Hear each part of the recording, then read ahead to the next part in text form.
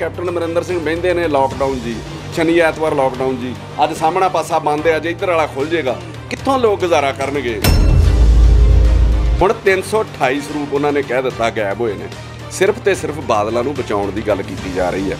ਕਾਰਨ ਕੀ ਹੈ? ਐਫ ਆਈ ਆਰ ਦਰਜ ਕਰਾਉਣ ਲਈ ਆਪਣੇ ਆਪ ਮਤਲਬ ਨੋਮੀਨੇਟ ਕਰ ਰਹੇ ਨੇ। ਫਲਾਣੇ ਬੰਦੇ ਤੇ ਦੇ ਦਿਓ, ਫਲਾਣੇ ਬੰਦੇ ਤੇ ਦੇ ਦਿਓ। ਤੁਸੀਂ ਕਿਹੜਾ ਸ਼੍ਰੋਮਣੀ ਕਮੇਟੀ ਨੇ ਕੋਈ ਵੱਖਰਾ ਐਸਐਸਪੀ ਲਾਇਆ ਆ ਕੈਪਟਨ ਅਮਰਿੰਦਰ ਸਿੰਘ ਆਮ ਆਦਮੀ ਪਾਰਟੀ ਨੂੰ ਦੱਸਣਾ ਚਾਹੁੰਦੇ ਹੋ, ਤੁਹਾਡੀ ਕਾਤ ਕੋਈ ਨਹੀਂ ਹੈਗੀ। ਕਾਲੀ ਦਲ ਗੰਦੀਆਂ ਗਾਲਾਂ ਕੱਢਦੇ ਨੇ, ਪੁਲਿਸ ਅਫਸਰਾਂ ਦੇ ਬੱਚਿਆਂ ਤੱਕ ਨੂੰ ਰੋਲਣ ਦੀਆਂ ਗੱਲਾਂ ਕਰਦੇ ਨੇ, ਉਹਨਾਂ ਦੀਆਂ ਗਾਲਾਂ ਲੈਂਦੇ ਨੇ ਤੇ ਉਹਨਾਂ ਦਾ ਪਿਆਰਨਾਮਾ ਮੈਮੋਰੰਡਮ ਵੀ ਨਹੀਂ ਲੈਂਦੇ, ਕਾਰਨ ਕੀ ਹੈ? ਫਿਕਸ ਮੈਚ ਗੁਰੂ ਗ੍ਰੰਥ ਸਾਹਿਬ ਦੀ ਬੇਅਦਬੀ ਹੋਈ, ਜਿਹਦੇ ਸਿਰ ਤੇ ਕੈਪਟਨ ਅਮਰਿੰਦਰ ਸਿੰਘ ਹੁਣਾਂ ਇਲੈਕਸ਼ਨ ਲੜੀ, ਸਹੁੰ ਖਾ ਕੇ। ਕੀ ਗੱਲ 3.5 ਸਾਲ ਚ ਪਤਾ ਨਹੀਂ ਲੱਗਾ ਪੁਲਿਸ ਨੂੰ ਵੀ ਦੋਸ਼ੀ ਕੌਣ ਨੇ?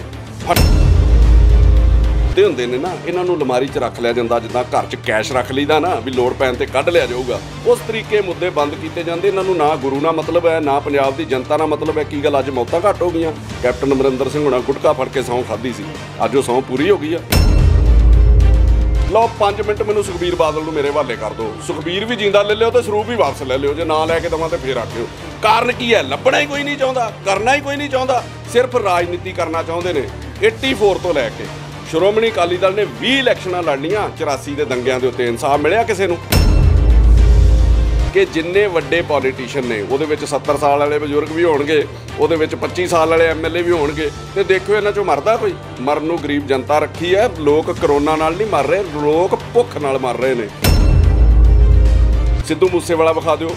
ਇਹ ਬੱਬੂ ਮਾਨ ਜੀ ਨਾਲ ਲੜ ਪਿਆ। ਮੈਂ ਕਿਸੇ ਸਿੰਗਰ ਦੀ ਕਿਤਾ ਮਤਲਬ ਬੁਰਾਈ ਨਹੀਂ ਕਰਦਾ, ਠੀਕ ਹੈ ਮੈਂ ਵੀ ਸੁਣਦਾ। ਮੈਂ ਸ਼ਹਿਰ ਦੇ ਵਿੱਚ ਕੋਈ ਫਿਲਮ ਲੱਗਦੀ ਹੈ ਤਾਂ ਮੈਂ ਸਭ ਤੋਂ ਪਹਿਲਾਂ ਦੇਖਦਾ, ਮਤਲਬ ਐਂਟਰਟੇਨਮੈਂਟ ਦਾ ਸਾਧਨ ਹੈ। ਪਰ ਇਹ ਇਸ਼ੂ ਸੋਸ਼ਲ ਮੀਡੀਆ ਤੇ ਚਲਾਉਣ ਵਾਲੇ ਨੇ।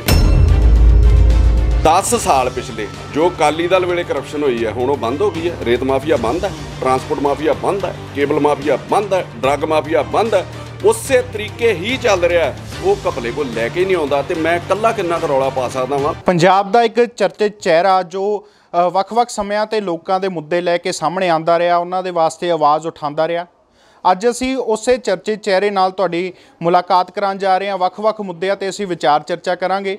ਹਰੇਕ ਮੁੱਦੇ ਜੋ ਲੋਕਾਂ ਦੇ ਨੇ ਜੋ ਇਹ ਉਠਾਉਂਦੇ ਆਏ ਨੇ ਉਹਨਾਂ ਤੇ ਵੀ ਗੱਲਬਾਤ ਕਰਾਂਗੇ ਤੇ ਹੋਰ ਜੋ ਪੰਜਾਬ ਦੇ ਅੱਜਕੱਲ ਮੁੱਦੇ ਚੱਲ ਰਹੇ ਨੇ ਉਹਨਾਂ ਤੇ ਵੀ ਗੱਲਬਾਤ ਕਰਾਂਗੇ। ਸਾਡੇ ਨਾਲ ਮੌਜੂਦ ਨੇ ਇਸ ਵੇਲੇ ਮਨਦੀਪ ਸਿੰਘ ਮੰਨਾ। ਸਭ ਤੋਂ ਪਹਿਲਾਂ ਮਨਦੀਪ ਮੰਨਾ ਜੀ ਸਭ ਤੋਂ ਅ, ਬਹੁਤ-ਬਹੁਤ ਸਵਾਗਤ ਹੈ ਤੁਹਾਡਾ। ਧੰਨਵਾਦ ਜੀ ਲੁਧਿਆਣਾ ਟਾਈਮਜ਼ ਦਾ ਬਹੁਤ-ਬਹੁਤ ਧੰਨਵਾਦ ਜਿਨ੍ਹਾਂ ਨੇ ਮੈਨੂੰ ਆਪਣੀ ਗੱਲ ਰੱਖਣ ਦਾ ਮੌਕਾ ਦਿੱਤਾ। ਦਿਲ ਦੀਆਂ ਗਹਿਰਾਈਆਂ ਤੋਂ ਤੁਹਾਡਾ ਧੰਨਵਾਦ। ਮਨਦੀਪ ਮੰਨਾ ਜੀ, ਮੈਂ ਸਭ ਤੋਂ ਪਹਿਲਾਂ ਸਵਾਲ ਕਰੂੰਗਾ ਤੁਹਾਡੇ ਤੇ ਕਰੋਨਾ ਤੁਹਾਡੇ ਨਾਲ ਕਰੋਨਾ ਵਾਇਰਸ ਤੇ। ਲਗਾਤਾਰ ਪੰਜਾਬ ਦੇ ਵਿੱਚ ਕਰੋਨਾ ਵਾਇਰਸ ਦੇ ਕੇਸ ਵੱਧ ਰਹੇ ਨੇ, ਪੰਜਾਬ ਦੇ ਮੁੱਖ ਮੰਤਰੀ ਨੇ ਸਖਤਾਈ ਵੀ ਬਹੁਤ ਕਰ ਦਿੱਤੀ ਹੈ। ਅੰਕੜੇ ਇੱਕ ਰੱਖਿਆ ਪੰਜਾਬ ਦੇ ਮੁੱਖ ਮੰਤਰੀ ਨੇ ਕਿ ਅਗਸਤ ਮਹੀਨੇ ਦੀ ਇੰਨੀ ਤਰੀਕ ਨੂੰ ਇੰਨੇ ਕੇਸ ਨੇ ਸਤੰਬਰ ਦੀ ਇੰਨੀ ਤਰੀਕ ਨੂੰ ਇੰਨੇ ਕੇਸ ਹੋ ਜਾਣਗੇ। ਅੱਜ ਇੰਨੀਆਂ ਮੌਤਾਂ ਨੇ ਸਤੰਬਰ ਦੇ ਵਿੱਚ ਇੰਨੀਆਂ ਮੌਤਾਂ ਹੋ ਜਾਣਗੀਆਂ। ਤੁਹਾਡੀ ਵੀ ਕੋਈ ਅਜਿਹੀ ਕੈਲਕੂਲੇਸ਼ਨ ਹੈਗੀ ਹੈ? ਮੇਰੀ ਇਹੋ ਜੀ ਕੋਈ ਕੈਲਕੂਲੇਸ਼ਨ ਨਹੀਂ ਜੀ, ਮੈਂ ਤੇ ਇਹ ਸਮਝਦਾ ਕਿ ਜਦੋਂ ਦਾ ਵੀ ਕਰੋਨਾ ਚੱਲਿਆ ਹੈ। 23 ਮਾਰਚ ਤੋਂ ਲਾਕਡਾਊਨ ਕੀਤਾ ਗਿਆ ਪੰਜਾਬ ਦੇ ਵਿੱਚ। ਅੱਜ 5-6 ਮਹੀਨੇ ਹੋਣ ਜਾ ਰਹੇ ਨੇ। ਤੁਸੀਂ ਕਿਸੇ ਵੀ ਸ਼ਮਸ਼ਾਨ ਘਾਟ ਜਾਓ, ਤੁਹਾਨੂੰ ਜੋ ਮੌਤਾਂ ਦੀ ਗਿਣਤੀ ਪਹਿਲਾਂ ਮਿਲਦੀ ਸੀ, ਉਹਦੇ ਨਾਲੋਂ ਘੱਟ ਮਿਲ ਰਹੀਆਂ ਨੇ। ਕਾਰਨ ਕੀ ਹੈ? ਕਿ ਦੇਖੋ, ਕਰੋਨਾ ਦੀ ਆੜ ਦੇ ਵਿੱਚ ਜੇ ਕੋਈ ਡਾਇਬਟਿਕ ਪੇਸ਼ੈਂਟ ਹੈ ਜੇ ਕੋਈ ਕੈ- ਕੈਂਸਰ ਵਾਲਾ ਹੈ ਜੇ ਕੋਈ ਲੀਵਰ ਵਾਲਾ, ਤੇ ਹਰ ਮੌਤ ਜਿਹੜੀ ਕਰੋਨਾ ਦੇ ਖਾਤੇ ਪਾਈ ਜਾਂਦੀ ਹੈ। ਮੈਨੂੰ ਨਹੀਂ ਪਤਾ ਮਤਲਬ ਕੈਪਟਨ ਅਮਰਿੰਦਰ ਸਿੰਘ ਐਡੀ ਦਹਿਸ਼ਤ ਕਿਉਂ ਪੈਦਾ ਕਰ ਰਹੇ ਨੇ। ਹੋ ਸਕਦਾ ਮੇਰੀ ਜਿਹੜੀ ਪ੍ਰੋਡਕਸ਼ਨ ਹੈ ਜਾਂ ਮੈਨੂੰ ਜੋ ਸਮਝ ਆਉਂਦੀ ਉਹ ਗਲਤ ਹੋਵੇ। ਇਹ ਇਹ ਇਹ ਕੈਪਟਨ ਅਮਰਿੰਦਰ ਸਿੰਘ ਹੁਣੀ ਕੋਈ ਚਿੱਤਰਗੁਪਤ ਥੋੜੀ ਬਣ ਕੇ ਕਿ ਰਜਿਸਟਰ ਇਹਨਾਂ ਨੇ ਫੜ ਲਿਆ, ਕਿੰਨੇ ਮਰਨਾ, ਕਿੰਨੇ ਜੀਣਾ ਜਾਂ ਧਰਮਰਾਜ ਦਾ। ਇਹਨਾਂ ਨੂੰ ਕਿਤੇ ਚਾਰਜ ਮਿਲ ਗਿਆ। ਮੈਂ ਸਮਝਦਾ ਕਿ ਕਿਤੇ ਨਾ ਕਿਤੇ ਸਰਕਾਰ ਨੂੰ ਕੋਈ ਕੰਮ ਨਹੀਂ ਕਰਨਾ ਪੈ ਰਿਹਾ। ਨਾ ਨੌਕਰੀਆਂ, ਨਾ ਫੋਨ, ਨਾ ਕਰਜ਼ੇ ਮਾਫ, ਨਾ ਮਤਲਬ ਨਸ਼ਾ ਮੁਕਤ ਪੰਜਾਬ। ਕਿਸੇ ਵੀ ਤਰ੍ਹਾਂ ਦਾ ਸਰਕਾਰ ਨੂੰ ਕੋਈ ਕੰਮ ਨਹੀਂ ਕਰਨਾ ਪੈ ਰਿਹਾ। ਉਹਦੀ ਆੜ ਦੇ ਵਿੱਚ ਕਰੋਨਾ ਦੀ ਦਹਿਸ਼ਤ ਇੰਨੀ ਫੈਲਾਈ ਜਾ ਰਹੀ ਹੈ। ਲੀਡਰ ਕੋਲ ਨਿਕਲ ਨਹੀਂ ਰਿਹਾ। ਸਾਰੇ ਕੰਮਕਾਜ ਇਹਦੇ ਇਹਦੀ ਆੜ ਦੇ ਵਿੱਚ ਠੱਪ ਹੋ ਚੁੱਕੇ ਨੇ ਔਰ ਮੈਂ ਫਿਰ ਤੁਹਾਨੂੰ ਕਹਿੰਦਾ ਕਿ ਇਹਦੀ ਆੜ ਦੇ ਵਿੱਚ ਕਿਤੇ ਨਾ ਕਿਤੇ ਜਿਹੜਾ ਕਰੋਨਾ ਹੈ, ਕੈਪਟਨ ਅਮਰਿੰਦਰ ਸਿੰਘ ਲਈ ਸੰਜੀਵਨੀ ਬੂਟੀ ਬਣ ਕੇ ਆਇਆ। ਔਰ ਮੈਂ ਜੋ ਸਮਝਦਾ, ਮੈਂ ਫਿਰ ਕਹਿ ਰਿਹਾ, ਹੋ ਸਕਦਾ ਮੈਂ ਗਲਤ ਹੋਵਾਂ, ਪਰ ਮੇਰੀ ਸਮਝ ਦੇ ਮੁਤਾਬਕ ਕੈਪਟਨ ਅਮਰਿੰਦਰ ਸਿੰਘ 2021 ਅਕਤੂਬਰ ਤੱਕ ਕਰੋਨਾ ਖਤਮ ਨਹੀਂ ਹੋਣ ਦੇਣਗੇ, ਅੱਗੋਂ 3 ਕੁ ਮਹੀਨੇ ਰਹਿ ਜਾਣਗੇ। ਔਰ ਉਹ, ਉਹਦੇ ਸਿਰ ਤੇ ਮੁੜ ਕੇ ਇਲੈਕਸ਼ਨ ਲੜੀ ਜਾਊਗੀ, ਕਿਉਂਕਿ ਮੈਂ ਬਾਰ-ਬਾਰ ਇਹ ਗੱਲ ਕਹਿਣਾ ਮੈਂ ਜਿੰਨੇ ਮਰਜ਼ੀ ਮੁੱਦੇ ਚੁੱਕ ਲਵਾਂ, ਮੈਂ ਜਿੰਨਾ ਮਰਜ਼ੀ ਬੋਲ ਰਵਾਂ, ਮੇਰੇ ਆਖੇ ਜੇ ਦੋ ਚਾਰ ਮੁੱਦੇ ਹੱਲ ਵੀ ਹੋ ਜਾਣ, ਪਰ ਜਿੱਥੇ ਸਾਡੀ ਸੋਚ ਖਤਮ ਹੋ ਜਾਂਦੀ ਹੈ, ਬੜੇ ਧਰੰਤਰ ਪੋਲੀਟੀਸ਼ੀਅਨ ਨੇ ਇਹਨਾਂ ਦੀ ਸੋਚ ਉੱਥੋਂ ਸ਼ੁਰੂ ਹੁੰਦੀ ਹੈ। ਕਿਸ ਤਰੀਕੇ ਮੁੱਦੇ ਕੈਸ਼ ਕਰਕੇ ਰੱਖਣੇ ਨੇ? ਕਿਸ ਤਰੀਕੇ ਉਹਨਾਂ ਨੂੰ ਅਲਮਾਰੀ 'ਚ ਬੰਦ ਕਰਕੇ ਰੱਖਣਾ ਔਰ ਲੋਡ ਪੈਣ ਦੇ ਉੱਤੇ ਕੱਢਣਾ? ਹਰ ਵਾਰੀ ਇਹ ਕਹਿੰਦੇ ਆ ਕਿ ਮੌਤ ਰੱਬ ਦੇ ਹੱਥ ਹੁੰਦੀ ਹੈ ਕਦੋਂ ਕਿੰਨੇ ਜੰਮਣਾ ਕਦੋਂ ਕਿੰਨੇ ਮਰਨਾ ਤੇ ਕੈਪਟਨ ਅਮਰਿੰਦਰ ਸਿੰਘ ਨੂੰ ਪਹਿਲਾਂ ਹੀ ਪਤਾ ਲੱਗ ਗਿਆ ਕਿ ਇੰਨੀ ਤਰੀਕ ਤੱਕ ਇੰਨੀਆਂ ਮੌਤਾਂ ਹੋ ਜਾਣੀਆਂ। ਮੈਂ ਮੈਂ ਫਿਰ ਤੁਹਾਨੂੰ ਕਹਿੰਦਾ ਜੀ ਕਿਸੇ ਦਿਨ ਤੁਸੀਂ ਕੈਮਰਾ ਲੈ ਕੇ ਤੁਹਾਡੇ ਇੱਥੇ ਕੋਈ ਸ਼ਿਵਪੁਰੀ ਜਾਂ ਜਿੱਥੇ ਕਿਤੇ ਸ਼ਮਸ਼ਾਨ ਘਾਟ ਹੈ ਉੱਥੇ ਸੰਸਕਾਰ ਹੁੰਦੇ ਹੋਣਗੇ ਉੱਥੇ ਤੁਸੀਂ ਜਾਓ ਕਿ 23 ਮਾਰਚ ਤੋਂ ਪਹਿਲਾਂ ਡੈਥ ਰੇਸ਼ੋ ਕੀ ਸੀ ਕਿੰਨੀਆਂ ਲਾਸ਼ਾਂ ਆਉਂਦੀਆਂ ਸੀ। ਸਿੰਪਲ ਜਿਹਾ ਫਾਰਮੂਲਾ ਹੈ ਹਰ ਸ਼ਹਿਰ 'ਚ ਸ਼ਮਸ਼ਾਨ ਘਾਟ ਹੈਗੇ ਆ। ਉਸ ਤੋਂ ਬਾਅਦ ਅੱਜ ਕੱਲ ਕਿੰਨੀਆਂ ਮੌਤਾਂ ਹੋ ਰਹੀਆਂ ਤੇ ਤੁਹਾਡੇ ਸਾਹਮਣੇ ਸਾਰਾ ਇਹ ਫੈਸਲਾ ਆ ਜਾਊਗਾ। ਜਦੋਂ 23 ਮਾਰਚ ਨੂੰ ਕਰਫਿਊ ਲੱਗਾ ਸੀ, ਮੈਂ ਉਦੋਂ ਵੀ ਸਾਰਾ ਮਤਲਬ ਇਹਦਾ ਐਨਾਲਿਸਿਸ ਕੀਤਾ ਸੀਗਾ ਕਿ ਉਦੋਂ ਐਕਸੀਡੈਂਟ ਬਿਲਕੁਲ ਬੰਦ ਹੋ ਗਏ ਸੀ ਜਦੋਂ ਕਰਫਿਊ ਚੱਲਿਆ ਸੀ। ਵਾਤਾਵਰਣ ਸਾਫ਼ ਸੀਗਾ, ਲੋਕਾਂ ਦੀਆਂ ਓਪੀਡੀ ਬੰਦ ਸੀਗੀਆਂ, ਜਿਹੜੇ ਪੇਸ਼ੈਂਟ ਸੀ ਡਾਇਬਟਿਕ ਮੈਂ ਫਿਰ ਦੱਸ ਰਿਹਾ ਕੈਂਸਰ ਲੀਵਰ ਵਾਲੇ ਉਹਨਾਂ ਨੂੰ ਹਸਪਤਾਲਾਂ 'ਚ ਇਲਾਜ ਨਹੀਂ ਸੀ ਹੋ ਰਿਹਾ ਉਹਨਾਂ ਦਾ ਕਿਤੇ ਵੀ, ਪਰ ਉਹਨਾਂ ਦੀ ਡੈਥ ਜਿਹੜੀ ਹੋ ਨਹੀਂ ਸੀ ਰਹੀ। ਕਾਰਨ ਸੀਗਾ ਸ- ਵਾਤਾਵਰਣ ਬੜਾ ਸਾਫ਼ ਹੈ। ਕ੍ਰਾਈਮ ਖਤਮ ਹੋ ਚੁੱਕਾ ਸੀਗਾ। ਲੋਕਾਂ ਦੇ ਜਿਹੜੇ ਮਤਲਬ ਰਿਸ਼ਤੇ ਨੇ, ਨਜਾਇਜ਼ ਕੋਮੀਆਂ, ਬੀਵੀ ਕਿਸੇ ਦਾ ਕੋਈ ਦਹੇਜ ਦਾ ਮਸਲਾ ਹੈ, ਕੋਈ ਕਿਸੇ ਨਾਲ ਨਜਾਇਜ਼ ਰਿਲੇਸ਼ਨ ਨੇ, ਉਹ ਮੌਤਾਂ ਖਤਮ ਹੋ ਗਈਆਂ ਸੀਗੀਆਂ। ਉਸ ਤੋਂ ਬਾਅਦ ਦੁਬਾਰਾ ਲੋਕਡਾਊਨ ਖੁੱਲਿਆ ਅੱਜ ਵੀ ਤੁਸੀਂ ਸ਼ਮਸ਼ਾਨ ਘਾਟ ਦੇ ਵਿੱਚ ਜਾਓ। ਜਿੰਨੀ ਰੇਸ਼ੋ ਦੇ ਵਿੱਚ ਕਰੋਨਾ ਤੋਂ ਪਹਿਲਾਂ ਮੌਤਾਂ ਆਉਂਦੀਆਂ ਸੀ, ਨਹੀਂ ਆ ਰਹੀਆਂ। ਰੋਜ਼ ਇਹ ਦੱਸ ਰਹੇ ਅੱਜ 500 ਪੇਸ਼ੈਂਟ ਆ ਜਾ ਅੱਜ 1000 ਪੇਸ਼ੈਂਟ ਆ ਗਿਆ। ਡੈਥ ਰੇਸ਼ੋ ਕਿੱਥੇ ਹੈ ਕਿਉਂ ਨਹੀਂ ਮਰ ਰਹੇ ਲੋਕੀ? ਕਿਉਂ ਮਤਲਬ ਇਹ, ਇਹਦੀ ਆੜ ਦੇ ਵਿੱਚ ਕਿਉਂ ਸਰਕਾਰ ਗੁੰਮਰਾਹ ਕਰ ਰਹੀ ਹੈ? ਸਰਕਾਰ ਦੇ ਕਿੰਨੇ ਬੰਦਿਆਂ ਨੂੰ ਕਰੋਨਾ ਆਇਆ ਜੀ? ਐਮਐਲਏ ਕਿੰਨੇ ਮਤਲਬ ਪੀੜਤ ਨੇ? ਮਤਲਬ ਇਹ ਬੜਾ ਵੱਡਾ ਸਿਸਟਮ ਹੈ। ਇੱਕ ਦਿਨ ਦਾ ਸੈਸ਼ਨ ਸੀਗਾ। ਅੱਧੀ ਕੁ ਵਿਧਾਨ ਸਭਾ ਹੀ ਕਰੋਨਾ ਪੀੜਤ ਕਰ ਦਿੱਤੀ ਵੀ ਤੁਸੀਂ ਸਾਰੇ ਪੀੜਤ ਹੋ। ਮੈਂ ਕੱਲ ਵੀ ਇਹ ਗੱਲ ਕਹੀ ਸੀ ਕਿ ਜਿੰਨੇ ਵੱਡੇ ਪੋਲੀਟੀਸ਼ੀਅਨ ਨੇ, ਉਹਦੇ ਵਿੱਚ 70 ਸਾਲ ਵਾਲੇ ਬਜ਼ੁਰਗ ਵੀ ਹੋਣਗੇ, ਉਹਦੇ ਵਿੱਚ 25 ਸਾਲ ਵਾਲੇ ਐਮਐਲਏ ਵੀ ਹੋਣਗੇ। ਤੇ ਦੇਖਿਓ ਇਹਨਾਂ ਚੋਂ ਮਰਦਾ ਕੋਈ? ਮਰਨ ਨੂੰ ਗਰੀਬ ਜਨਤਾ ਰੱਖੀ ਹੈ। ਲੋਕ ਕਰੋਨਾ ਨਾਲ ਨਹੀਂ ਮਰ ਰਹੇ, ਲੋਕ ਭੁੱਖ ਨਾਲ ਮਰ ਰਹੇ ਨੇ। ਲੋਕ ਖੁਦਕੁਸ਼ੀਆਂ ਨਾਲ ਮਰ ਰਹੇ ਨੇ। ਮੈਂ ਕੱਲ ਇੱਕ ਮਤਲਬ ਦੱਸਿਆ ਸੀਗਾ ਕਿ ਮੈਂ ਰੋਜ਼ ਤਿੰਨ ਦਿਨ ਤੋਂ ਲਗਾਤਾਰ ਬੋਲ ਰਿਹਾ। ਮੈਂ ਗੁਰਦੁਆਰਾ ਸ਼ਹੀਦਾਂ ਸਾਹਿਬ ਹੈ ਜੀ ਸਾਡੇ ਅੰਮ੍ਰਿਤਸਰ। ਮੈਂ ਉੱਥੇ ਡੇਲੀ ਮੱਥਾ ਟੇਕਣ ਜਾਣਾ ਹੁੰਦਾ। ਔਰ ਮੈਂ ਉੱਥੇ ਪਰ 4-5 ਦਿਨ ਹੋ ਗਏ ਨੇ ਉੱਥੇ ਗਿਆ ਤੇ ਇੱਕ ਸ਼ਖਸ ਮੇਰੇ ਕੋਲ ਮਤਲਬ ਤੁਹਾਡੇ ਵਾਂਗੂ ਸੂਟਡ ਬੂਟਡ ਬੰਦਾ ਸੀਗਾ, ਉਹ ਮੇਰੇ ਕੋਲ ਆਇਆ ਤੇ ਮੈਨੂੰ ਕਹਿੰਦਾ, ਭਾਜੀ, ਸਤਿ ਸ਼੍ਰੀ ਅਕਾਲ ਜੀ। ਮੈਂ ਕਿਹਾ, ਹਾਂਜੀ। ਕਹਿੰਦਾ, ਭਾਜੀ, ਮੈਂ ਦਿਲ ਦੀ ਗੱਲ ਕਰਨੀ ਤੁਹਾਡੇ ਨਾਲ। ਮੈਂ ਕਿਹਾ, ਦੱਸੋ। ਕਹਿੰਦਾ, ਮੈਂ ਮੰਡੀ ਮੰਡੀ ਗੋਬਿੰਦਗੜ੍ਹ ਦਾ ਰਹਿਣ ਵਾਲਾ ਵਾਂ। ਮੇਰੀ ਇੱਕ ਬੇਟੀ ਹੈ, ਨਾਲ ਮੇਰੀ ਵਾਈਫ ਹੈ। ਵਾਈਫ ਮੇਰੀ ਮੈਂ ਉਹਨੂੰ ਦਿੱਲੀ ਭੇਜ ਦਿੱਤਾ, ਉੱਥੇ ਉਹਦੇ ਪੇਕੇ ਨੇ। ਬੇਟੀ ਨੂੰ ਮੇਰਾ ਭਰਾ ਜਿਹੜਾ ਰੋਟੀ ਖਵਾ ਰਿਹਾ, ਮੇਰੀ 15000 ਰੁਪਿਆ ਤਨਖਾਹ ਸੀ ਲੋਕਡਾਊਨ ਤੋਂ ਪਹਿਲਾਂ, ਉਹ ਖਤਮ ਹੋ ਚੁੱਕੀ ਤੇ ਮੈਂ ਕਿਹਾ, ਫਿਰ ਅੰਮ੍ਰਿਤਸਰ ਕੀ ਕਰ ਰਹੇ? ਕਹਿੰਦਾ, ਜੀ, ਮੈਂ 15 ਦਿਨ ਤੋਂ ਇੱਥੇ ਰਹਿ ਰਿਹਾ ਵਾਂ। ਮੈਂ ਦਰਬਾਰ ਸਾਹਿਬ ਮੱਥਾ ਟੇਕ ਕੇ ਤੇ ਉਸ ਤੋਂ ਬਾਅਦ ਖੁਦਕੁਸ਼ੀ ਕਰਨ ਦਾ ਮਨ ਬਣਾਇਆ ਸੀ ਕਿ ਪ੍ਰਮਾਤਮਾ ਮੇਰੇ ਬੱਚੇ ਬੱਚੀ ਦਾ ਖਿਆਲ ਰੱਖੀ। ਫਿਰ ਜਦੋਂ ਮੈਂ ਕਰਨ ਦੀ ਕੋਸ਼ਿਸ਼ ਕਰ ਰਿਹਾ, ਸੋਚ ਰਿਹਾ ਤੇ ਮੇਰੀ ਬੱਚੀ ਮੇਰੇ ਸਾਹਮਣੇ ਆ ਰਹੀ ਹੈ ਤੇ ਕਿਤੇ ਨਾ ਕਿਤੇ ਸੋਚ ਰਿਹਾ ਕਿ ਰੱਬ ਸੁਣੇਗਾ, ਹਾਲਾਤ ਠੀਕ ਹੋ ਜਾਣਗੇ। ਇਹ ਲੋਕਾਂ ਦੀਆਂ ਮੁਸ਼ਕਲਾਂ ਨੇ। ਇਹਦੇ ਵੱਲ ਤੇ ਕਿਤੇ ਧਿਆਨ ਹੀ ਨਹੀਂ ਦਿੱਤਾ ਜਾ ਰਿਹਾ। ਕੈਪਟਨ ਅਮਰਿੰਦਰ ਸਿੰਘ ਬਹਿੰਦੇ ਨੇ ਲਾਕਡਾਊਨ ਜੀ। ਸ਼ਨੀ ਐਤਵਾਰ ਲਾਕਡਾਊਨ ਜੀ। ਅੱਜ ਸਾਹਮਣਾ ਪਾਸਾ ਬੰਦ ਹੈ ਅੱਜ ਇੱਧਰ ਵਾਲਾ ਖੁੱਲ ਜਾਏਗਾ। ਕਿੱਥੋਂ ਲੋਕ ਗੁਜ਼ਾਰਾ ਕਰਨਗੇ? ਸ਼ਨੀ ਐਤਵਾਰ ਬੰਦ ਦੁਕਾਨਦਾਰ ਤਾਂ ਪਹਿਲਾਂ ਹੀ ਲੋਕਡਾਊਨ ਦੀ ਮਾਰ ਝੇਲ ਰਹੇ। ਹੁਣ ਕਿਤੇ ਕਿਸੇ ਜ਼ਿਲ੍ਹੇ ਦੇ ਵਿੱਚ ਸੱਜਾ ਖੱਬਾ ਕਿਸੇ ਦੇ ਵਿੱਚ ਔਡ ਈਵਨ ਕਿਤੇ ਕੁਛ ਉਹ ਤਾਂ ਪਹਿਲਾਂ ਹੀ ਬੜੀ ਮਾਰ ਝੇਲ ਰਹੇ ਨੇ। ਤੁਸੀਂ ਦੇਖੋ ਜਦੋਂ ਦਾ ਲਾਕਡਾਊਨ ਚੱਲਿਆ ਉਨੀਆਂ ਮੌਤਾਂ ਕਰੋਨਾ ਨਾਲ ਨਹੀਂ ਹੋਈਆਂ, ਜਿੰਨੀਆਂ ਨਸ਼ੇ ਨਾਲ ਹੋ ਗਈਆਂ। 150 ਦੇ ਕਰੀਬ ਮੌਤ ਜਿਹੜੀ ਗੰਦੀ ਸ਼ਰਾਬ ਪੀਣ ਨਾਲ ਹੋ ਗਈ। ਕਿ ਕਰੋਨਾ ਉਹਦੇ ਨਾਲੋਂ ਵੀ ਜ਼ਿਆਦਾ ਖਤਰਨਾਕ ਹੈ? ਇਹਨਾਂ ਚੀਜ਼ਾਂ ਦੇ ਉੱਤੇ ਤੇ ਕਿਤੇ ਰੋਕ ਨਹੀਂ ਲਾਈ ਜਾ ਰਹੀ। ਲੋਕ ਖੁਦਕੁਸ਼ੀਆਂ ਕਰਨ ਲਈ ਤਿਆਰ ਹੋ ਗਏ ਨੇ। ਤੁਸੀਂ ਕਿਸੇ ਰੈਸਟੋਰੈਂਟ 'ਚ ਬੈਠੋ, ਕਿਸੇ ਹੋਟਲ 'ਚ ਬੈਠੋ, ਉਹਨਾਂ ਦੇ ਉੱਤੇ ਲੋਨ ਚੱਲਦੇ ਨੇ। ਲੇਬਰ ਹੈ ਉਹਨਾਂ ਦੀ। ਜੇ ਲੇਬਰ ਨੂੰ ਰੋਟੀ ਨਹੀਂ ਮਿਲਣੀ ਤੇ ਉਹਨੇ ਵੀ ਸੁਸਾਈਡ ਕਰਨਾ ਜਾਂ ਉਹਨੇ ਵੀ ਕੋਈ ਮਾੜਾ ਕੰਮ ਕਰਨਾ। ਅੱਜ ਨੌਜਵਾਨ ਦਾ ਧਿਆਨ ਕਿਉਂ ਭਟਕ ਰਿਹਾ? ਕੋਈ ਬਾਹਰੋਂ ਲਾਲਚ ਦਿੰਦਾ ਜੀ, ਤੁਸੀਂ ਆਹ ਕੰਮ ਕਰਦੇ ਹੋ ਤੇ ਤੁਹਾਨੂੰ ਇੰਨੇ ਡਾਲਰ ਮਿਲਣਗੇ। ਕੋਈ ਇੱਥੋਂ ਕਿਸੇ ਬੰਦੇ ਕੋਲ ਰੁਜ਼ਗਾਰ ਹੋਵੇ, ਤੁਹਾਡੇ ਕੋਲ ਵੀ ਹੋਵੇ, ਤੇ ਤੁਸੀਂ ਨਹੀਂ ਮੇਰਾ ਖਿਆਲ ਆ ਵੀ ਕੋਈ ਮਾੜਾ ਚੰਗਾ ਕੰਮ ਕਰਨ ਦੀ ਕੋਸ਼ਿਸ਼ ਕਰੋਗੇ ਆਪਣੇ ਘਰ ਰੋਜੀ ਰੋਟੀ। ਸਾਡੇ ਸਮਾਜ 'ਚ ਬੇਰੁਜ਼ਗਾਰੀ ਹੈ, ਨੌਜਵਾਨਾਂ ਦਾ ਧਿਆਨ ਭਟਕਾ ਰਹੀ ਹੈ, ਇਹਦੇ ਉੱਤੇ ਖਾਸ ਧਿਆਨ ਦੇਣ ਦੀ ਲੋੜ ਸੀ। ਔਰ ਇਹਦੇ ਨਾਲ ਅੱਜ ਮੈਂ ਤੁਹਾਨੂੰ ਸੋਸ਼ਲ ਮੀਡੀਆ ਵਾਲਿਆਂ ਨੂੰ ਵੀ ਇੱਕ ਬੇਨਤੀ ਕਰਨੀ ਹੈ ਕਿ ਜਿਹੜੇ ਸਮਾਜਿਕ ਮੁੱਦੇ ਨੇ, ਜਿਹਦੇ ਨਾਲ ਜਨਤਾ ਪੀੜਤ ਹੈ ਜਿਨ੍ਹਾਂ ਦੇ ਵਿੱਚ ਉਹਨਾਂ ਨੂੰ ਗੁਜ਼ਰਨਾ ਪੈ ਰਿਹਾ ਬੱਚਿਆਂ ਦੀ ਪੜ੍ਹਾਈ ਹੈ ਹੈਲਥ ਹੈ ਰੋਟੀ ਦੀ ਆ ਮਤਲਬ ਹਰ ਚੀਜ਼ ਦੀ ਲੋੜ ਹੈ ਲੋਕੀ ਭੁੱਖਮਰੀ ਨਾਲ ਮਰ ਰਹੇ ਨੇ ਉਹਨਾਂ ਚੀਜ਼ਾਂ ਨੂੰ ਛੱਡ ਕੇ। ਤੇ ਸੋਸ਼ਲ ਮੀਡੀਆ ਦੇ ਉੱਤੇ ਅੱਜਕੱਲ ਕੀ ਚੱਲ ਰਿਹਾ? ਕਿਤੇ ਨਾ ਕਿਤੇ ਪਿੱਛੋਂ ਕੋਈ ਏਜੰਸੀ ਚਲਾਉਂਦੀ ਹੈ ਜਿਹੜੀ ਮਤਲਬ ਇਨਸਟਰਕਸ਼ਨ ਦਿੰਦੀ ਹੈ ਚੈਨਲਸ ਵਾਲਿਆਂ ਨੂੰ। ਸਿੱਧੂ ਮੂਸੇਵਾਲਾ ਵਿਖਾ ਦਿਓ। ਇਹ ਬੱਬੂ ਮਾਨ ਜੀ ਨਾਲ ਲੜ ਪਿਆ। ਮੈਂ ਕਿਸੇ ਸਿੰਗਰ ਦੀ ਮਤਲਬ ਬੁਰਾਈ ਨਹੀਂ ਕਰਦਾ ਠੀਕ ਹੈ ਮੈਂ ਵੀ ਸੁਣਦਾ। ਮੈਂ ਸ਼ਹਿਰ ਦੇ ਵਿੱਚ ਕੋਈ ਫਿਲਮ ਲੱਗਦੀ ਹੈ ਤਾਂ ਮੈਂ ਸਭ ਤੋਂ ਪਹਿਲਾਂ ਦੇਖਦਾ ਮਤਲਬ ਐਂਟਰਟੇਨਮੈਂਟ ਦਾ ਸਾਧਨ ਹੈ। ਪਰ ਇਹ ਇਸ਼ੂ ਸੋਸ਼ਲ ਮੀਡੀਆ ਤੇ ਚਲਾਉਣ ਵਾਲੇ ਨੇ। ਐਨਜੀਓ ਕੋਲੋਂ ਹਿਸਾਬ ਮੰਗ ਲਓ ਮਾੜਾ ਚੰਗਾ ਬੋਲੋ ਕਿਸੇ ਨੂੰ ਕੁਝ ਵੀ ਕਰੋ ਇਹ ਇਸ਼ੂ ਮਤਲਬ ਮਹੀਨਾ ਮਹੀਨਾ ਇਹ ਇਸ਼ੂ ਚੱਲ ਰਹੇ ਨੇ। ਬਾਕੀ ਪੰਜਾਬ ਦੇ ਇਸ਼ੂ ਹੀ ਖਤਮ ਹੋ ਗਏ ਪਾਣੀ ਕਿਸਾਨਾਂ ਦਾ ਬੇਰੁਜ਼ਗਾਰੀ ਨਸ਼ਿਆਂ ਦਾ ਕਿਹੋ ਜਿਹੇ ਮਤਲਬ ਆ, ਪੜ੍ਹਾਈ ਨਹੀਂ ਹੈਗੀ ਬੱਚਿਆਂ ਦੀ ਸਾਰੇ ਇਸ਼ੂ ਇੱਕ ਪਾਸੇ ਖਤਮ ਕਰਕੇ ਸੋਸ਼ਲ ਮੀਡੀਆ ਇੱਕ ਮੰਚ ਮਿਲਿਆ ਸੀਗਾ ਪੰਜਾਬ ਨੂੰ ਕਿ ਦੇਸ਼ ਭਰ ਨੂੰ ਕਿ ਕੋਈ ਵੀ ਬੰਦਾ ਚਾਹੇ ਅਖਬਾਰਾਂ ਨੇ ਚਾਹੇ ਵੱਡੇ ਚੈਨਲ ਨੇ ਕਿਸੇ ਨਾ ਕਿਸੇ ਪ੍ਰੈਸ਼ਰ ਹੇਠ ਚੱਲਦੇ ਨੇ ਕਿਉਂਕਿ ਇਹਨਾਂ ਦੇ ਉੱਤੇ ਕੰਟਰੋਲ ਸਾਡੇ ਕਹਿਣ ਨੂੰ ਡੈਮੋਕ੍ਰੇਸੀ ਹੈ ਨਹੀਂ। ਇੱਥੇ ਮਤਲਬ ਅੰਗਰੇਜ਼ੀ ਰਾਜ ਹੀ ਹੈ ਪੁਰਾਣਾ ਹੀ। ਜੋ ਸਰਕਾਰ ਚਾਹੇਗੀ ਉਹ ਹੋਏਗਾ। ਉਹਨਾਂ ਨੂੰ ਦਬਾਇਆ ਜਾਂਦਾ, ਕਿਤੇ ਨਾ ਕਿਤੇ ਅਖਬਾਰਾਂ ਚੈਨਲ ਨੂੰ ਐਡ ਦਾ ਵੀ ਹੁੰਦਾ। ਪਰ ਇੱਕ ਸੋਸ਼ਲ ਮੀਡੀਆ ਮੰਚ ਮਿਲਿਆ ਸੀ ਕਿ ਜੋ ਸੱਚਾਈ ਹੈ, ਉਹ ਸ਼ਾਮ ਨੂੰ ਵੀਡੀਓ ਪੈ ਜਾਂਦੀ ਸੀ। ਉਹਨੂੰ ਤੁਸੀਂ ਪਾ ਦਿਓ, ਉਹਨੂੰ ਮੈਂ ਪਾ ਦਿਆਂ, ਉਹਨੂੰ ਲੁਧਿਆਣਾ ਟਾਈਮ ਪਾ ਦੇਵੇ, ਉਹਨੂੰ ਕੋਈ ਇੰਡੀਵਿਜੂਅਲੀ ਪਾ ਦੇ। ਉਹ ਵੀ ਮੰਚ ਜਿਹੜਾ ਲੋਕਾਂ ਕੋ ਕਿਤੇ ਨਾ ਕਿਤੇ ਖੋਣ ਦੀ ਕੋਸ਼ਿਸ਼ ਕੀਤੀ ਜਾ ਰਹੀ ਹੈ। ਮੈਂ ਸਾਰਿਆਂ ਨੂੰ ਬੇਨਤੀ ਕਰਦਾ ਕਿ ਹਰ ਜਗ੍ਹਾ ਤੇ ਮੁੱਦੇ ਨੇ ਹਰ ਜਗ੍ਹਾ ਤੇ ਲੋਕ ਰੋ ਰਹੇ ਨੇ। ਜਿਹੜੀ ਮਰਜ਼ੀ ਗਲੀ ਦੇ ਵਿੱਚ ਤੁਸੀਂ ਵੜ ਜਾਓ ਲੋਕਾਂ ਨੂੰ ਬਹੁਤ ਸਾਰੀਆਂ ਮੁਸ਼ਕਲਾਂ ਆ ਰਹੀਆਂ ਨੇ। ਇਹਨਾਂ ਦੇ ਉੱਤੇ ਸੋਸ਼ਲ ਮੀਡੀਆ ਤੇ ਜਿੰਨੇ ਵੀ ਚੈਨਲ ਚੱਲਦੇ ਨੇ ਜਾਂ ਜਿਹੜੇ ਵੀ ਗਰੁੱਪ ਨੇ ਇਹਨਾਂ ਚੀਜ਼ਾਂ ਤੇ ਧਿਆਨ ਦੇਣਾ ਚਾਹੀਦਾ। ਫੋਕੀਆਂ ਸਿਰਫ ਤੁਹਾਡਾ ਧਿਆਨ ਉਲਝਾਇਆ ਜਾ ਰਿਹਾ। ਚੰਗੇ ਮੁੱਦਿਆਂ ਵੱਲ ਤੁਹਾਡਾ ਧਿਆਨ ਜਿਹੜਾ ਨਾ ਆ ਸਕੇ ਜਿਹੜੇ ਸਮਾਜ ਦੇ ਵਿੱਚ ਸੁਧਾਰ ਕਰਨ ਵਾਲੇ ਮੁੱਦੇ ਨੇ ਉਹਨਾਂ ਵੱਲ ਤੁਹਾਡਾ ਧਿਆਨ ਨਾ ਆ ਸਕੇ। ਇਸ ਕਰਕੇ ਮੇਰੀ ਬੇਨਤੀ ਹੈ ਤੁਹਾਨੂੰ ਸਾਰਿਆਂ ਨੂੰ ਵੀ ਕਿ ਸਮਾਜਿਕ ਮੁੱਦੇ ਤੁਸੀਂ ਵੀ ਬੜੇ ਵਧੀਆ ਚੁੱਕਦੇ ਹੋ ਇਹਦੇ ਉੱਤੇ ਪਹਿਰਾ ਦਿਓ। ਮੰਨਾ ਜੀ ਆਪਾਂ ਐਸਜੀਪੀਸੀ ਤੇ ਆਈਏ। ਗੁਰੂ ਗ੍ਰੰਥ ਸਾਹਿਬ ਜੀ ਦੇ ਪਾਵਨ ਪਵਿੱਤਰ ਸਰੂਪ ਚੋਰੀ ਹੁੰਦੇ ਆ। ਪਹਿਲਾਂ 267 ਦਾ ਕਿਹਾ ਜਾਂਦਾ ਕਿ ਸਰੂਪ ਚੋਰੀ ਉਸ ਤੋਂ ਬਾਅਦ ਗਿਣਤੀ ਵੱਧ ਜਾਂਦੀ ਹੈ।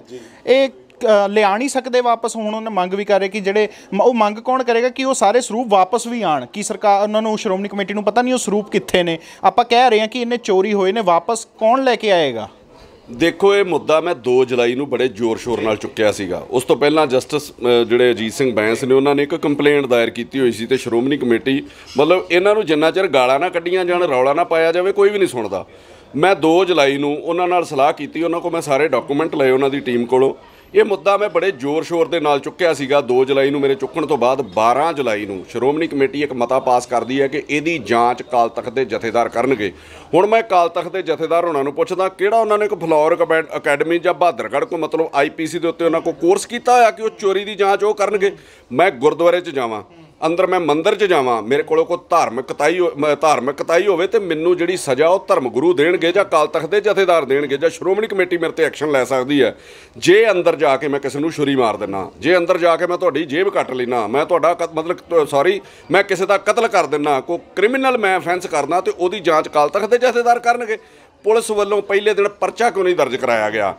ਮੈਂ ਜਦੋਂ ਕਿਹਾ 267 ਸਰੂਪ ਗਾਇਬ ਨੇ, ਫਿਰ ਇੱਕ ਦਿਨ ਸਿੰਘ ਸਾਹਿਬ ਦਾ ਬਿਆਨ ਆਉਂਦਾ। ਕਿ ਉਹ ਕਹਿੰਦੇ ਨੇ ਕਿ ਨਹੀਂ, ਇਹ ਛਪੇ ਹੀ ਨਹੀਂ ਹੈਗੇ। ਇੱਕ ਇੰਗਲਿਸ਼ ਦੀ ਅਖਬਾਰ 'ਚ ਬੜੀ ਵੱਡੀ ਉਹਨਾਂ ਦੀ ਖਬਰ ਲੱਗੀ ਔਰ ਫਿਰ ਅਗਲੇ ਦਿਨ ਮੇਰੇ ਵੱਲੋਂ ਤੇ ਹੋਰ ਸੰਗਤਾਂ ਵੱਲੋਂ ਜਿਹੜਾ ਇਹ ਰੌਲਾ ਪਾਇਆ ਗਿਆ। ਫਿਰ ਸਿੰਘ ਸਾਹਿਬ ਕਹਿੰਦੇ, ਮੈਂ ਬਿਆਨ ਹੀ ਨਹੀਂ ਦਿੱਤਾ। ਕਾਰਨ ਕੀ ਹੈ? ਐਡੀ ਵੱਡੀ ਤੁਹਾਡੀ ਖਬਰ ਅਖਬਾਰ ਨੇ ਲਾ ਦਿੱਤੀ, ਐਡੀ ਵੱਡੀ ਤੁਸੀਂ ਹਸਤੀ ਹੋ ਸਿੱਖਾਂ ਦੀ, ਸਭ ਤੋਂ ਉੱਚੀ ਹਸਤੀ। ਤੁਸੀਂ ਫਿਰ ਅਗਲਿਆਂ ਨੂੰ ਨੋਟਿਸ ਕਿਉਂ ਨਹੀਂ ਭੇਜਿਆ? ਤੁਸੀਂ ਮੇਰੀ ਖਬਰ ਕਿਉਂ ਨਹੀਂ ਲਾਈ? ਕਾਰਨ ਕੀ ਸੀਗਾ? ਜਦੋਂ ਬੱਚੇ ਨੂੰ ਟੀਕਾ ਲਾਉਣਾ ਹੋਵੇ ਨਾ, ਉਹਨੂੰ ਚੁੰਡੀ ਵੱਢ ਕੇ ਵੇਖੀ ਜਾਂਦੀ ਹੈ। ਜੇ ਤੇ ਉਹ ਝੱਲ ਜੇ, ਉਹਨੂੰ ਦੱਸੀਦਾ ਬੇਟਾ, ਇੰਨੀ ਕੁ ਪੀੜ ਹੋਣੀ ਆ। ਜੇ ਨਹੀਂ ਝੱਲੇ ਤੇ ਫਿਰ ਉਹਨੂੰ ਕਹੀਦਾ ਵੀ ਲੈ ਗੋਲੀ ਖਾ ਲਾ। ਸਿੰਘ ਸਾਹਿਬ ਨੇ ਉਹ ਚੁੰਡੀ ਵੱਢ ਕੇ ਵੇਖੀ ਵੀ ਸੰਗਤ ਝੱਲਦੀ ਹੈ। ਜਦੋਂ ਨਹੀਂ ਝੱਲਿਆ, ਅਗਲੇ ਦਿਨ ਵਿਰੋਧ ਹੋਇਆ ਤੇ ਸਿੰਘ ਸਾਹਿਬ ਮੁੱਕਰ ਕੇ ਮੈਂ ਸਟੇਟਮੈਂਟ ਹੀ ਨਹੀਂ ਦਿੱਤੀ। ਹੁਣ 328 ਸਰੂਪ ਉਹਨਾਂ ਨੇ ਕਹਿ ਦਿੱਤਾ, ਗਾਇਬ ਹੋਏ ਨੇ। ਸਿਰਫ ਤੇ ਸਿਰਫ ਬਾਦਲਾਂ ਨੂੰ ਬਚਾਉਣ ਦੀ ਗੱਲ ਕੀਤੀ ਜਾ ਰਹੀ ਹੈ। ਕਾਰਨ ਕੀ ਹੈ? ਐਫ ਆਈ ਆਰ ਦਰਜ ਕਰਾਉਣ ਲਈ ਆਪਣੇ ਆਪ ਮਤਲਬ ਨੋਮੀਨੇਟ ਕਰ ਰਹੇ ਨੇ ਫਲਾਣੇ ਬੰਦੇ ਤੇ ਦੇ ਦਿਓ, ਫਲਾਣੇ ਬੰਦੇ ਤੇ ਦੇ ਦਿਓ। ਤੁਸੀਂ ਕਿਹੜਾ ਸ਼੍ਰੋਮਣੀ ਕਮੇਟੀ ਨੇ ਕੋਈ ਵੱਖਰਾ ਐਸਐਸਪੀ ਲਾਇਆ ਆ? ਤੁਸੀਂ ਪੁਲਿਸ ਨੂੰ ਸਿੰਪਲ ਕੰਪਲੇਂਟ ਕਰੋ ਕਿ ਇੰਨੇ ਸਰੂਪ ਗਾਇਬ ਨੇ ਯਾਰ, ਇਹ ਚੋਰੀ ਹੋਏ ਨੇ ਜਾਂ ਜਿੱਥੇ ਵੀ ਗਏ ਨੇ ਤੇ ਪੁਲਿਸ ਦੀ ਜਾਂਚ ਕਰਕੇ ਦੋਸ਼ੀ ਫੜੇ ਤੇ ਦੋਸ਼ੀ ਲੋਕਾਂ ਦੇ ਸਾਹਮਣੇ ਨਸ਼ਰ ਕਰੇ। ਆਪਣੇ ਆਪ ਦੱਸ ਰਹੇ ਨੇ ਵੀ ਜਿਹੜੇ ਬੰਦਿਆਂ ਨਾਲ ਬਣਦੀ ਨਹੀਂ, ਉਹ ਹਰਚਰਨ ਸਿੰਘ ਮੇਰੇ ਖਿਆਲ ਇਹਨਾਂ ਦੇ ਰਹੇ ਨੇ, ਵਧੀਕ ਸਕੱਤਰ ਜਿਹੜੇ ਚੀਫ ਸੈਕਟਰੀ ਸੀ, ਉਹ ਛੱਡ ਚੁੱਕੇ ਨੇ। ਉਹਨਾਂ ਦੇ ਉੱਤੇ ਪਰਚਾ ਦੇ ਦਿਓ ਜੀ। ਇੱਕ ਬੰਦਾ ਜਿਹੜਾ ਆਪ ਕਮਿਸ਼ਨਰ ਨੂੰ ਕੰਪਲੇਂਟ ਦੇ ਕੇ ਆਇਆ, ਉਹਦੇ ਤੇ ਪਰਚਾ ਦੇ ਦਿਓ। ਮੈਂ ਉਹਨਾਂ ਨੂੰ ਵੀ ਸਹੀ ਨਹੀਂ ਕਹਿੰਦਾ। ਸ਼੍ਰੋਮਣੀ ਕਮੇਟੀ ਦੇ ਜਿੰਨੇ ਮੁਲਾਜ਼ਮ ਨੇ, ਇਹਨਾਂ ਦਾ ਜ਼ਮੀਰ ਉਦੋਂ ਜਾਗਦਾ ਜਦੋਂ ਰਿਟਾਇਰ ਹੋ ਜਾਂਦੇ ਨੇ ਜਾਂ ਜਦੋਂ ਕੱਢ ਦਿੱਤੇ ਜਾਂਦੇ ਨੇ। ਜਦੋਂ ਉੱਥੇ ਰਹਿੰਦੇ ਨੇ, ਉਦੋਂ ਕੋਈ ਕੰਮ ਨਹੀਂ ਕਰਦੇ। ਮੇਰੀ ਫਿਰ ਇਹ ਡਿਮਾਂਡ ਹੈ ਕਿ ਇਹਦਾ ਪਰਚਾ ਮਤਲਬ ਚਾਹੇ ਪੁਲਿਸ ਅਣਪਛਾਤਿਆਂ ਤੇ ਦਰਜ ਕਰੇ, ਉਸ ਤੋਂ ਬਾਅਦ ਜਾਂਚ ਕਰਕੇ ਕੱਢੇ। ਪਤਾ ਹੈ ਸੇਕ ਕਿੱਥੇ ਜਾਣਾ। ਹੁਣ ਤੁਹਾਡੇ ਸਾਹਮਣੇ ਆ ਪਟਿਆਲੇ ਇੱਕ ਸਰੂਪ ਗਾਇਬ ਹੋਇਆ। ਔਰ ਅਕਾਲੀ ਦਲ ਉੱਥੇ ਲਗਾਤਾਰ ਧਰਨੇ ਦੇ ਰਿਹਾ। ਇੱਟ ਨਾ ਇੱਟ ਖੜਕਾ ਦੇਾਂਗੇ ਕੈਪਟਨ ਅਮਰਿੰਦਰ ਸਿੰਘ ਦਾ ਜ਼ਿਲ੍ਹਾ ਹੈ ਜਿੱਥੇ ਉਹ ਗਾਲਾਂ ਕੱਢਦੇ ਨੇ ਜਾ ਕੇ ਪੁਲਿਸ ਨੂੰ। ਉੱਥੇ ਇੱਕ ਸਰੂਪ ਗਾਇਬ ਹੈ। ਅੰਮ੍ਰਿਤਸਰ 'ਚ 328 ਸਰੂਪ ਗਾਇਬ ਨੇ। ਕੀ ਗੱਲ ਅੰਮ੍ਰਿਤਸਰ? ਪਾਕਿਸਤਾਨ 'ਚ ਪੈਂਦਾ, ਉੱਥੇ ਕੋਈ ਵੱਖਰੀ ਆਈਪੀਸੀ ਲੱਗਦੀ ਹੈ? ਉੱਥੇ ਪਰਚਾ ਕਿਉਂ ਦਰਜ ਕੀਤਾ ਜਾ ਰਿਹਾ। ਕਾਰਨ ਕੀ ਹੈ? ਤੁਸੀਂ ਦੇਖੋ, ਮੈਂ ਇਸ ਗੱਲ ਨੂੰ ਜੋੜ ਕੇ ਦੱਸਣ ਲੱਗਾ ਕਿ ਫਿਕਸ ਮੈਚ ਹੈ। ਮਤਲਬ ਸਰਕਾਰ ਦੀ ਮਰਜ਼ੀ ਹੈ ਕਿ ਕਿੰਨੂੰ ਉੱਪਰ ਚੁੱਕਣਾ ਤੇ ਕਿੰਨੂੰ ਥੱਲੇ ਸੁੱਟਣਾ। ਆਮ ਆਦਮੀ ਦੇ ਪਾਰਟੀ ਦੇ ਵਿਧਾਇਕਾਂ ਨੇ ਧਰਨਾ ਦਿੱਤਾ। ਮੇਰੇ ਖਿਆਲ 7-8 ਦਿਨ ਤੋਂ ਉਹਨਾਂ ਦਾ ਧਰਨਾ ਸੀ ਸਿੰਪਲ ਕਿ ਐਸਐਸਪੀ ਆ ਕੇ ਬਾਹਰ ਮੈਮੋਰੈਂਡਮ ਲਵੇ। ਕਿੱਡੀ ਕੁ ਵੱਡੀ ਡਿਮਾਂਡ ਹੈ ਜੀ। ਐਸਐਸਪੀ ਮਤਲਬ ਸਰਕਾਰ ਦਾ ਬੰਦਾ ਹੈ ਪਬਲਿਕਲੀ ਕੰਮ ਕਰਨਾ ਉਹਨਾਂ ਨੇ। ਉਹ ਬਾਹਰ ਆਉਣ ਨੂੰ ਤਿਆਰ ਨਹੀਂ ਸੀ ਕਿ ਕੈਪਟਨ ਅਮਰਿੰਦਰ ਸਿੰਘ ਆਮ ਆਦਮੀ ਪਾਰਟੀ ਨੂੰ ਦੱਸਣਾ ਚਾਹੁੰਦੇ ਹੋ ਤੁਹਾਡੀ ਕਾਤ ਕੋਈ ਨਹੀਂ ਹੈਗੀ। ਕਾਲੀ ਦਲ ਗੰਦੀਆਂ ਗਾਲਾਂ ਕੱਢਦੇ ਨੇ, ਪੁਲਿਸ ਅਫਸਰਾਂ ਦੇ ਬੱਚਿਆਂ ਤੱਕ ਨੂੰ ਰੋਲਣ ਦੀਆਂ ਗੱਲਾਂ ਕਰਦੇ ਨੇ, ਉਹਨਾਂ ਦੀਆਂ ਗਾਲਾਂ ਲੈਂਦੇ ਨੇ ਤੇ ਉਹਨਾਂ ਦਾ ਪਿਆਰਨਾਮਾ ਮੈਮੋਰੰਡਮ ਵੀ ਨਹੀਂ ਲੈਂਦੇ, ਕਾਰਨ ਕੀ ਹੈ? ਫਿਕਸ ਮੈਚ ਹੈ। ਕੈਪਟਨ ਅਮਰਿੰਦਰ ਸਿੰਘ ਭਲਵਾਨ ਆਪਣੀ ਮਰਜ਼ੀ ਦਾ ਸਾਹਮਣੇ ਰੱਖਣਾ ਚਾਹੁੰਦੇ ਨੇ। ਮੈਂ ਮੇਰੀ ਗੱਲ ਪੂਰੀ ਕਰ ਲੈਣ ਦਿਓ ਜੀ। ਕਾਲੀ ਦਲ ਕੋਲੋਂ ਅਫਸਰਾਂ ਨੂੰ ਗਾਲਾਂ ਕਿਉਂ ਕਢਾਉਂਦੇ ਨੇ ਕੈਪਟਨ ਅਮਰਿੰਦਰ ਸਿੰਘ? 2002 ਤੋਂ 7 ਤੱਕ ਕਾਲੀ ਕੁਸਕਦੇ ਨਹੀਂ ਸੀ। ਮੈਂ ਕਾਲੀ ਦਲ ਚ ਹੁੰਦਾ ਸੀਗਾ। ਉਹ ਕੈਪਟਨ ਅਮਰਿੰਦਰ ਸਿੰਘ ਦੀ ਦਹਿਸ਼ਤ ਹੁੰਦੀ ਸੀ। ਕਾਰਨ ਕੀ ਹੈ? ਕੈਪਟਨ ਅਮਰਿੰਦਰ ਸਿੰਘ ਕਾਲੀ ਦਲ ਕੋ ਆਪਣੇ ਅਫਸਰਾਂ ਨੂੰ ਗਾਲਾਂ ਕੋ ਕਢਾਉਂਦੇ ਨੇ? ਉਹ ਸਾਨੂੰ ਪਬਲਿਕ ਨੂੰ ਮੈਸੇਜ ਦੇਣਾ ਚਾਹੁੰਦੇ ਨੇ ਕਿ ਜੇ ਤੁਹਾਡੀ ਮੇਰੇ ਨਾਲ ਕੋਈ ਡਿਸਲਾਈਕਿੰਗ ਹੈਗੀ ਹੈ ਨਾ, ਤੇ ਇਹ ਬੰਦੇ ਮੇਰੇ ਨਾਲੋਂ ਮਤਲਬ ਇਹਨਾਂ ਨਾਲ ਜੁੜ ਜਾਓ, ਇਹਨਾਂ ਦੀ ਬੜੀ ਚੱਲਦੀ ਜੇ। ਮਤਲਬ ਇਹ ਮੈਸੇਜ ਦੇਣਾ ਚਾਹੁੰਦੇ ਨੇ ਵੀ ਉਹ ਸਾਹਮਣੇ ਭਲਵਾਨ ਮਰਜ਼ੀ ਦਾ ਰੱਖਣਾ ਚਾਹੁੰਦੇ ਨੇ। ਕੱਲ ਨੂੰ ਇਹਨਾਂ ਦੇ ਖਿਲਾਫ ਰਿਪੋਰਟ ਦਰਜ ਕਰਾ ਦਿਆਂਗਾ ਕੁਝ ਵੀ ਕਰ ਦਾਂਗਾ ਬੇਦਬੀ ਇਹਨਾਂ ਨੇ ਕੀਤੀ ਤੇ ਇਹਨਾਂ ਨੂੰ ਆਸਾਨੀ ਨਾਲ ਢਾ ਲਵਾਂਗਾ। ਆ ਸਾਰਾ ਸਿਸਟਮ ਚੱਲਣ ਡਿਆ, ਕਿਸੇ ਨੂੰ ਗੁਰੂ ਨਾਲ ਮਤਲਬ ਨਹੀਂ, ਕਿਸੇ ਨੂੰ ਧਰਮ ਨਾਲ ਮਤਲਬ ਨਹੀਂ, ਸਿਰਫ ਰਾਜਨੀਤੀ ਕੀਤੀ ਜਾ ਰਹੀ ਹੈ। ਗੁਰੂ ਗ੍ਰੰਥ ਸਾਹਿਬ ਦੀ ਬੇਅਦਬੀ ਹੋਈ ਜਿਹਦੇ ਸਿਰ ਤੇ ਕੈਪਟਨ ਅਮਰਿੰਦਰ ਸਿੰਘ ਹੁਣਾਂ ਇਲੈਕਸ਼ਨ ਲੜੀ ਸਹੁੰ ਖਾ ਕੇ। ਕੀ ਗੱਲ ਸਾਢੇ ਤਿੰਨ ਸਾਲ ਚ ਪਤਾ ਨਹੀਂ ਲੱਗਾ ਪੁਲਿਸ ਨੂੰ ਵੀ ਦੋਸ਼ੀ ਕੌਣ ਨੇ? ਫੜਨੇ ਨੇ ਕਿ ਨਹੀਂ ਫੜਨੇ? ਕਾਰਨ ਕੀ ਹੈ? ਜਿਹੜੇ ਮੁੱਦੇ ਹੁੰਦੇ ਨੇ ਨਾ, ਇਹਨਾਂ ਨੂੰ ਅਲਮਾਰੀ 'ਚ ਰੱਖ ਲਿਆ ਜਾਂਦਾ, ਜਿੱਦਾਂ ਘਰ 'ਚ ਕੈਸ਼ ਰੱਖ ਲਈਦਾ ਨਾ, ਵੀ ਲੋੜ ਪੈਣ ਤੇ ਕੱਢ ਲਿਆ ਜਾਊਗਾ। ਉਸ ਤਰੀਕੇ ਮੁੱਦੇ ਬੰਦ ਕੀਤੇ ਜਾਂਦੇ। ਇਹਨਾਂ ਨੂੰ ਨਾ ਗੁਰੂ ਨਾਲ ਮਤਲਬ ਹੈ, ਨਾ ਪੰਜਾਬ ਦੀ ਜਨਤਾ ਨਾਲ ਮਤਲਬ ਹੈ। ਕੀ ਗੱਲ? ਅੱਜ ਮੌਤਾਂ ਘੱਟ ਹੋ ਗਈਆਂ। ਕੈਪਟਨ ਅਮਰਿੰਦਰ ਸਿੰਘ ਹੁਣਾਂ ਗੁਟਕਾ ਫੜ ਕੇ ਸਹੁੰ ਖਾਧੀ ਸੀ। ਅੱਜ ਉਹ ਸਹੁੰ ਪੂਰੀ ਹੋ ਗਈ ਆ। ਮੇਰੇ ਵਰਗਾ ਬੰਦਾ ਝੂਠੀ ਸਹੁੰ ਖਾ ਲੇ, ਤੁਹਾਡੇ ਵਰਗਾ ਝੂਠੀ ਸਹੁੰ ਖਾ ਲੇ, ਚਲੋ ਫਿਰ ਮਤਲਬ ਸਹੁੰ ਤੇ ਖਾਣੀ ਨਹੀਂ ਚਾਹੀਦੀ ਝੂਠੀ। ਕੈਪਟਨ ਅਮਰਿੰਦਰ ਸਿੰਘ ਦਾ ਉਹ ਪਰਿਵਾਰ ਹੈ, ਜਿਨ੍ਹਾਂ ਨੂੰ ਛੇਵੇਂ ਪਾਤਸ਼ਾਹ ਨੇ ਆਸ਼ੀਰਵਾਦ ਦਿੱਤਾ ਸੀਗਾ। ਉਸ ਤੋਂ ਪਹਿਲਾਂ ਰਾਜੇ ਨਹੀਂ ਸੀ ਹੁੰਦੇ। ਉਸ ਤੋਂ ਬਾਅਦ ਇਹਨਾਂ ਦੇ ਘਰ 'ਚ ਰਜਵਾੜੇ ਸ਼ਾਹੀ ਆਈ ਤੇ ਅੱਜ ਤੱਕ ਮਤਲਬ ਕੈਪਟਨ ਅਮਰਿੰਦਰ ਸਿੰਘ ਰਾਜਾ ਗਿਣੇ ਜਾਂਦੇ ਨੇ। ਬੇਟਾ ਉਹਨਾਂ ਦਾ ਮਤਲਬ ਅੱਗੋਂ ਪ- ਸਾਹਿਬਜ਼ਾਦਾ ਜਿਹੜਾ ਉਹਨੇ ਵੀ ਕੱਲ ਨੂੰ ਰਾਜਾ ਬਣਨਾ ਹੈ। ਮਤਲਬ ਇਹ ਉੱਥੋਂ ਮਿਲੀ ਹੈ। ਤੇ ਮੈਂ ਉਹਨਾਂ ਨੂੰ ਕਿਹਾ ਵੀ ਤੁਹਾਡੇ ਤੇ ਤੇ ਗੁਰੂਆਂ ਦਾ ਆਸ਼ੀਰਵਾਦ ਹੈ, ਤੁਹਾਨੂੰ ਤੇ ਥਾ ਮਤਲਬ ਉਹਨਾਂ ਸ਼ੌਹਰਤ, ਦੌਲਤ ਦਿੱਤੀ ਹੈ। ਕਮ ਸੇ ਕਮ ਉਹਨਾਂ ਦਾ ਹੀ ਮੁੱਲ ਮੋੜ ਦਿਓ, ਆਪਣੀ ਜਿਹੜੀ ਸਹੁੰ ਖਾਦੀ ਹੈ, ਕਿਤੇ ਨਾ ਕਿਤੇ ਲੋਕਾਂ ਨੂੰ ਨਿਆਂ ਤੇ ਦਿਓ। ਮੈਨੂੰ ਸਵਾਲ ਮੇਰਾ ਇਹੀ ਸੀਗਾ ਕਿ ਉਹਨਾਂ ਸਰੂਪਾਂ ਨੂੰ ਵਾਪਸ ਲਿਆਉਣ ਦੀ ਕੌਣ ਗੱਲ ਕਰੇਗਾ? ਕਿਉਂਕਿ ਉਹ ਕੋਈ ਗੱਲ ਨਹੀਂ ਕਰ ਰਿਹਾ। ਹਰੇਕ ਬੰਦਾ ਆਹੀ ਕਹਿ ਰਿਹਾ ਕਿ ਜਾਂਚ ਹੋਵੇ, ਦੋਸ਼ੀ ਫੜੇ ਜਾਣ, ਪਰ ਵਾਪਸ ਕੌਣ ਉਹਨਾਂ ਨੂੰ ਲੈ ਕੇ ਆਏਗਾ? ਕਿੱਥੇ ਨੇ ਸਰੂਪ? ਮਰਿਆਦਾ ਪੂਰੀ ਹੈਗੀ ਆ ਉੱਥੇ ਜਿੱਥੇ ਸਰੂਪ ਪਏ ਨੇ, ਉਹ ਕੌਣ ਸਭ ਕਰੇਗਾ? ਦੇਖੋ, ਸਭ ਤੋਂ ਮੈਂ ਬੜਾ ਮਤਲਬ ਨਿਮਾਣਾ ਜਿਹਾ ਬੰਦਾ ਵਾਂ। ਮੈਂ ਧਾਰਮਿਕ ਬੰਦਾ ਨਹੀਂ ਹੈਗਾ। ਮੈਂ ਇੱਕ ਚੀਜ਼ ਤੁਹਾਨੂੰ ਕਲੀਅਰ ਕਰਦਾ। ਮੇ- ਜਿੰਨਾ ਮੇਰੇ ਮਨ 'ਚ ਗੁਰੂ ਗ੍ਰੰਥ ਸਾਹਿਬ ਲਈ ਸਤਿਕਾਰ ਹੈ, ਮੇਰੇ ਦਿਲ 'ਚ ਰਮਾਇਣ ਲਈ ਵੀ ਉਹਨਾਂ ਸਤਿਕਾਰ ਹੈ, ਗੀਤਾ ਲਈ ਵੀ ਉਹਨਾਂ ਹੈ, ਕੁਰਾਨ ਲਈ ਵੀ ਉਹਨਾਂ ਹੈ, ਬਾਈਬਲ ਲਈ ਵੀ ਉਹਨਾਂ ਮੈਂ ਸਾਂਝਾ ਵਾਂ। ਮੈਨੂੰ ਮਤਲਬ ਮੈਂ ਧਰਮ ਗੁਰੂ ਜਾਂ ਮੈਂ ਕੋਈ ਧਰਮ ਦੀ ਰਾਜਨੀਤੀ ਨਹੀਂ ਕਰਦਾ, ਇਹ ਸਰੂਪ ਗਏ ਕਿੱਥੇ? ਗੁਰੂ ਗ੍ਰੰਥ ਸਾਹਿਬ ਦਾ ਤੁਸੀਂ ਘਰ 'ਚ ਸਰੂਪ ਲਿਆਉਣਾ ਹੋਵੇ ਨਾ, ਤੇ ਬੜੀ ਮਤਲਬ ਉਹਦੇ ਘੱਟ ਭੇਟਾਂ ਹੈ 2100 ਕੇ 5100 ਹੈ ਜੋ ਤੁਸੀਂ ਘਰ 'ਚ ਕਮਰਾ ਬਣਾਉਣਾ ਗੁਰੂ ਗ੍ਰੰਥ ਸਾਹਿਬ ਲਈ, ਤੇ ਉਹ ਉਹ 2100 5100 ਤੇ ਮਹਿਣਾ ਹੀ ਨਹੀਂ ਰੱਖਦਾ। ਤੁਸੀਂ ਉੱਥੇ ਰਿਕੁਐਸਟ ਦਿੰਦੇ ਉਹਨਾਂ ਨੂੰ ਜਾ ਕੇ, ਉਹਨਾਂ ਦਾ ਕੋਈ ਐਸਜੀਪੀਸੀ ਮੈਂਬਰ ਜਾਂ ਕੋਈ ਉਹਨਾਂ ਦਾ ਇੰਸਪੈਕਟਰ ਆ ਕੇ ਤੁਹਾਡੇ ਘਰ ਵੇਖ ਲੈਂਦਾ ਕਿ ਮਰਿਆਦਾ ਹੈਗੀ ਆ ਕੋਈ 2100 5100 ਲਈ ਚੋਰੀ ਕਿਉਂ ਕਰਾਏਗਾ? ਇਹ ਚੋਰੀ ਕਰਕੇ ਸਰੂਪ ਉੱਥੇ ਦਿੱਤੇ ਗਏ, ਜਿਨ੍ਹਾਂ ਨੂੰ ਲੈਣ ਤੋਂ ਮਨਾਹੀ ਸੀਗੀ। ਜਿਨ੍ਹਾਂ ਨੂੰ ਜਿਹੜੇ ਮਰਿਆਦਾ ਨਹੀਂ ਸੀ ਰੱਖਦੇ, ਇਹ ਸਰੂਪ ਉੱਥੇ ਗਏ ਨੇ ਇਹਨਾਂ ਦੀਆਂ ਸਿਫਾਰਸ਼ਾਂ ਤੇ। ਆ ਭੌਰ ਪਿੱਛੇ ਜੇ ਬੋਲੇ ਸੀਗੇ ਕਿ ਮੇਰੇ ਇਲਾਕੇ 'ਚ ਇੱਕ ਡੇਰੇ ਤੇ ਇਹਨਾਂ 40 ਸਰੂਪ ਭੇਜਣੇ ਸੀ ਤੇ ਮੈਂ ਮਨਾ ਕਰ ਦਿੱਤਾ ਸੀ, ਇਹ ਪੂਰੀ ਮਰਿਆਦਾ ਨਹੀਂ ਰੱਖਦੇ। ਉਸ ਤੋਂ ਬਾਅਦ ਆ ਕੋਈ ਸੁਖਬੀਰ ਬਾਦਲ ਦੀ ਮੱਕੜ ਨਾਲ ਗੱਲ ਹੁੰਦੀ ਤੇ 40 ਦੇ 40 ਪਹੁੰਚ ਜਾਂਦੇ ਨੇ।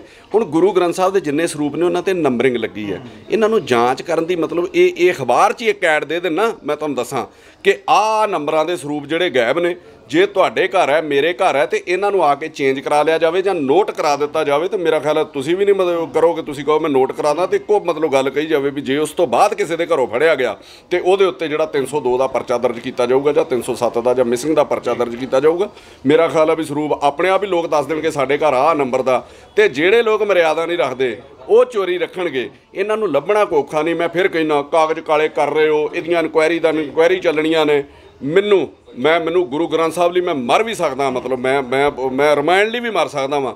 ਮੈਂ ਕਹਿੰਦਾ ਕਿ ਸ਼੍ਰੋਮਣੀ ਕਮੇਟੀ ਦੇ ਦੋ ਚਾਰ ਅਧਿਕਾਰੀ ਮੈਨੂੰ ਫੜਾ ਦਿਓ। ਬਹੁਤੀ ਗੱਲ ਇਹ ਸੁਖਬੀਰ ਦੇ ਕਹਿਣ ਤੇ ਜਾਂਦੇ ਰਹੇ ਨਾ, ਜਦੋਂ ਬਾਬੇ ਨੂੰ ਮਾਫੀ ਦਿੱਤੀ ਹੈ ਤੇ ਸਾਰੀਆਂ ਖੇਡਾਂ ਇਹ ਆਪ ਖੇਡਦੇ ਰਹੇ ਨੇ। ਲਓ 5 ਮਿੰਟ ਮੈਨੂੰ ਸੁਖਬੀਰ ਬਾਦਲ ਨੂੰ ਮੇਰੇ ਹਵਾਲੇ ਕਰ ਦਿਓ। ਸੁਖਬੀਰ ਵੀ ਜਿੰਦਾ ਲੈ ਲਿਓ ਤੇ ਸਰੂਪ ਵੀ ਵਾਪਸ ਲੈ ਲਿਓ, ਜੇ ਨਾ ਲੈ ਕੇ ਦਵਾਂ ਤੇ ਫੇਰ ਆਖਿਓ। ਕਾਰਨ ਕੀ ਹੈ? ਲੱਭਣਾ ਹੀ ਕੋਈ ਨਹੀਂ ਚਾਹੁੰਦਾ, ਕਰਨਾ ਹੀ ਕੋਈ ਨਹੀਂ ਚਾਹੁੰਦਾ। ਸਿਰਫ ਰਾਜਨੀਤੀ ਕਰਨਾ ਚਾਹੁੰਦੇ ਨੇ 84 ਤੋਂ ਲੈ ਕੇ। ਸ਼੍ਰੋਮਣੀ ਅਕਾਲੀ ਦਲ ਨੇ 20 ਇਲੈਕਸ਼ਨਾਂ ਲੜਨੀਆਂ 84 ਦੇ ਦੰਗਿਆਂ ਦੇ ਉੱਤੇ ਇਨਸਾਫ ਮਿਲਿਆ ਕਿਸੇ ਨੂੰ?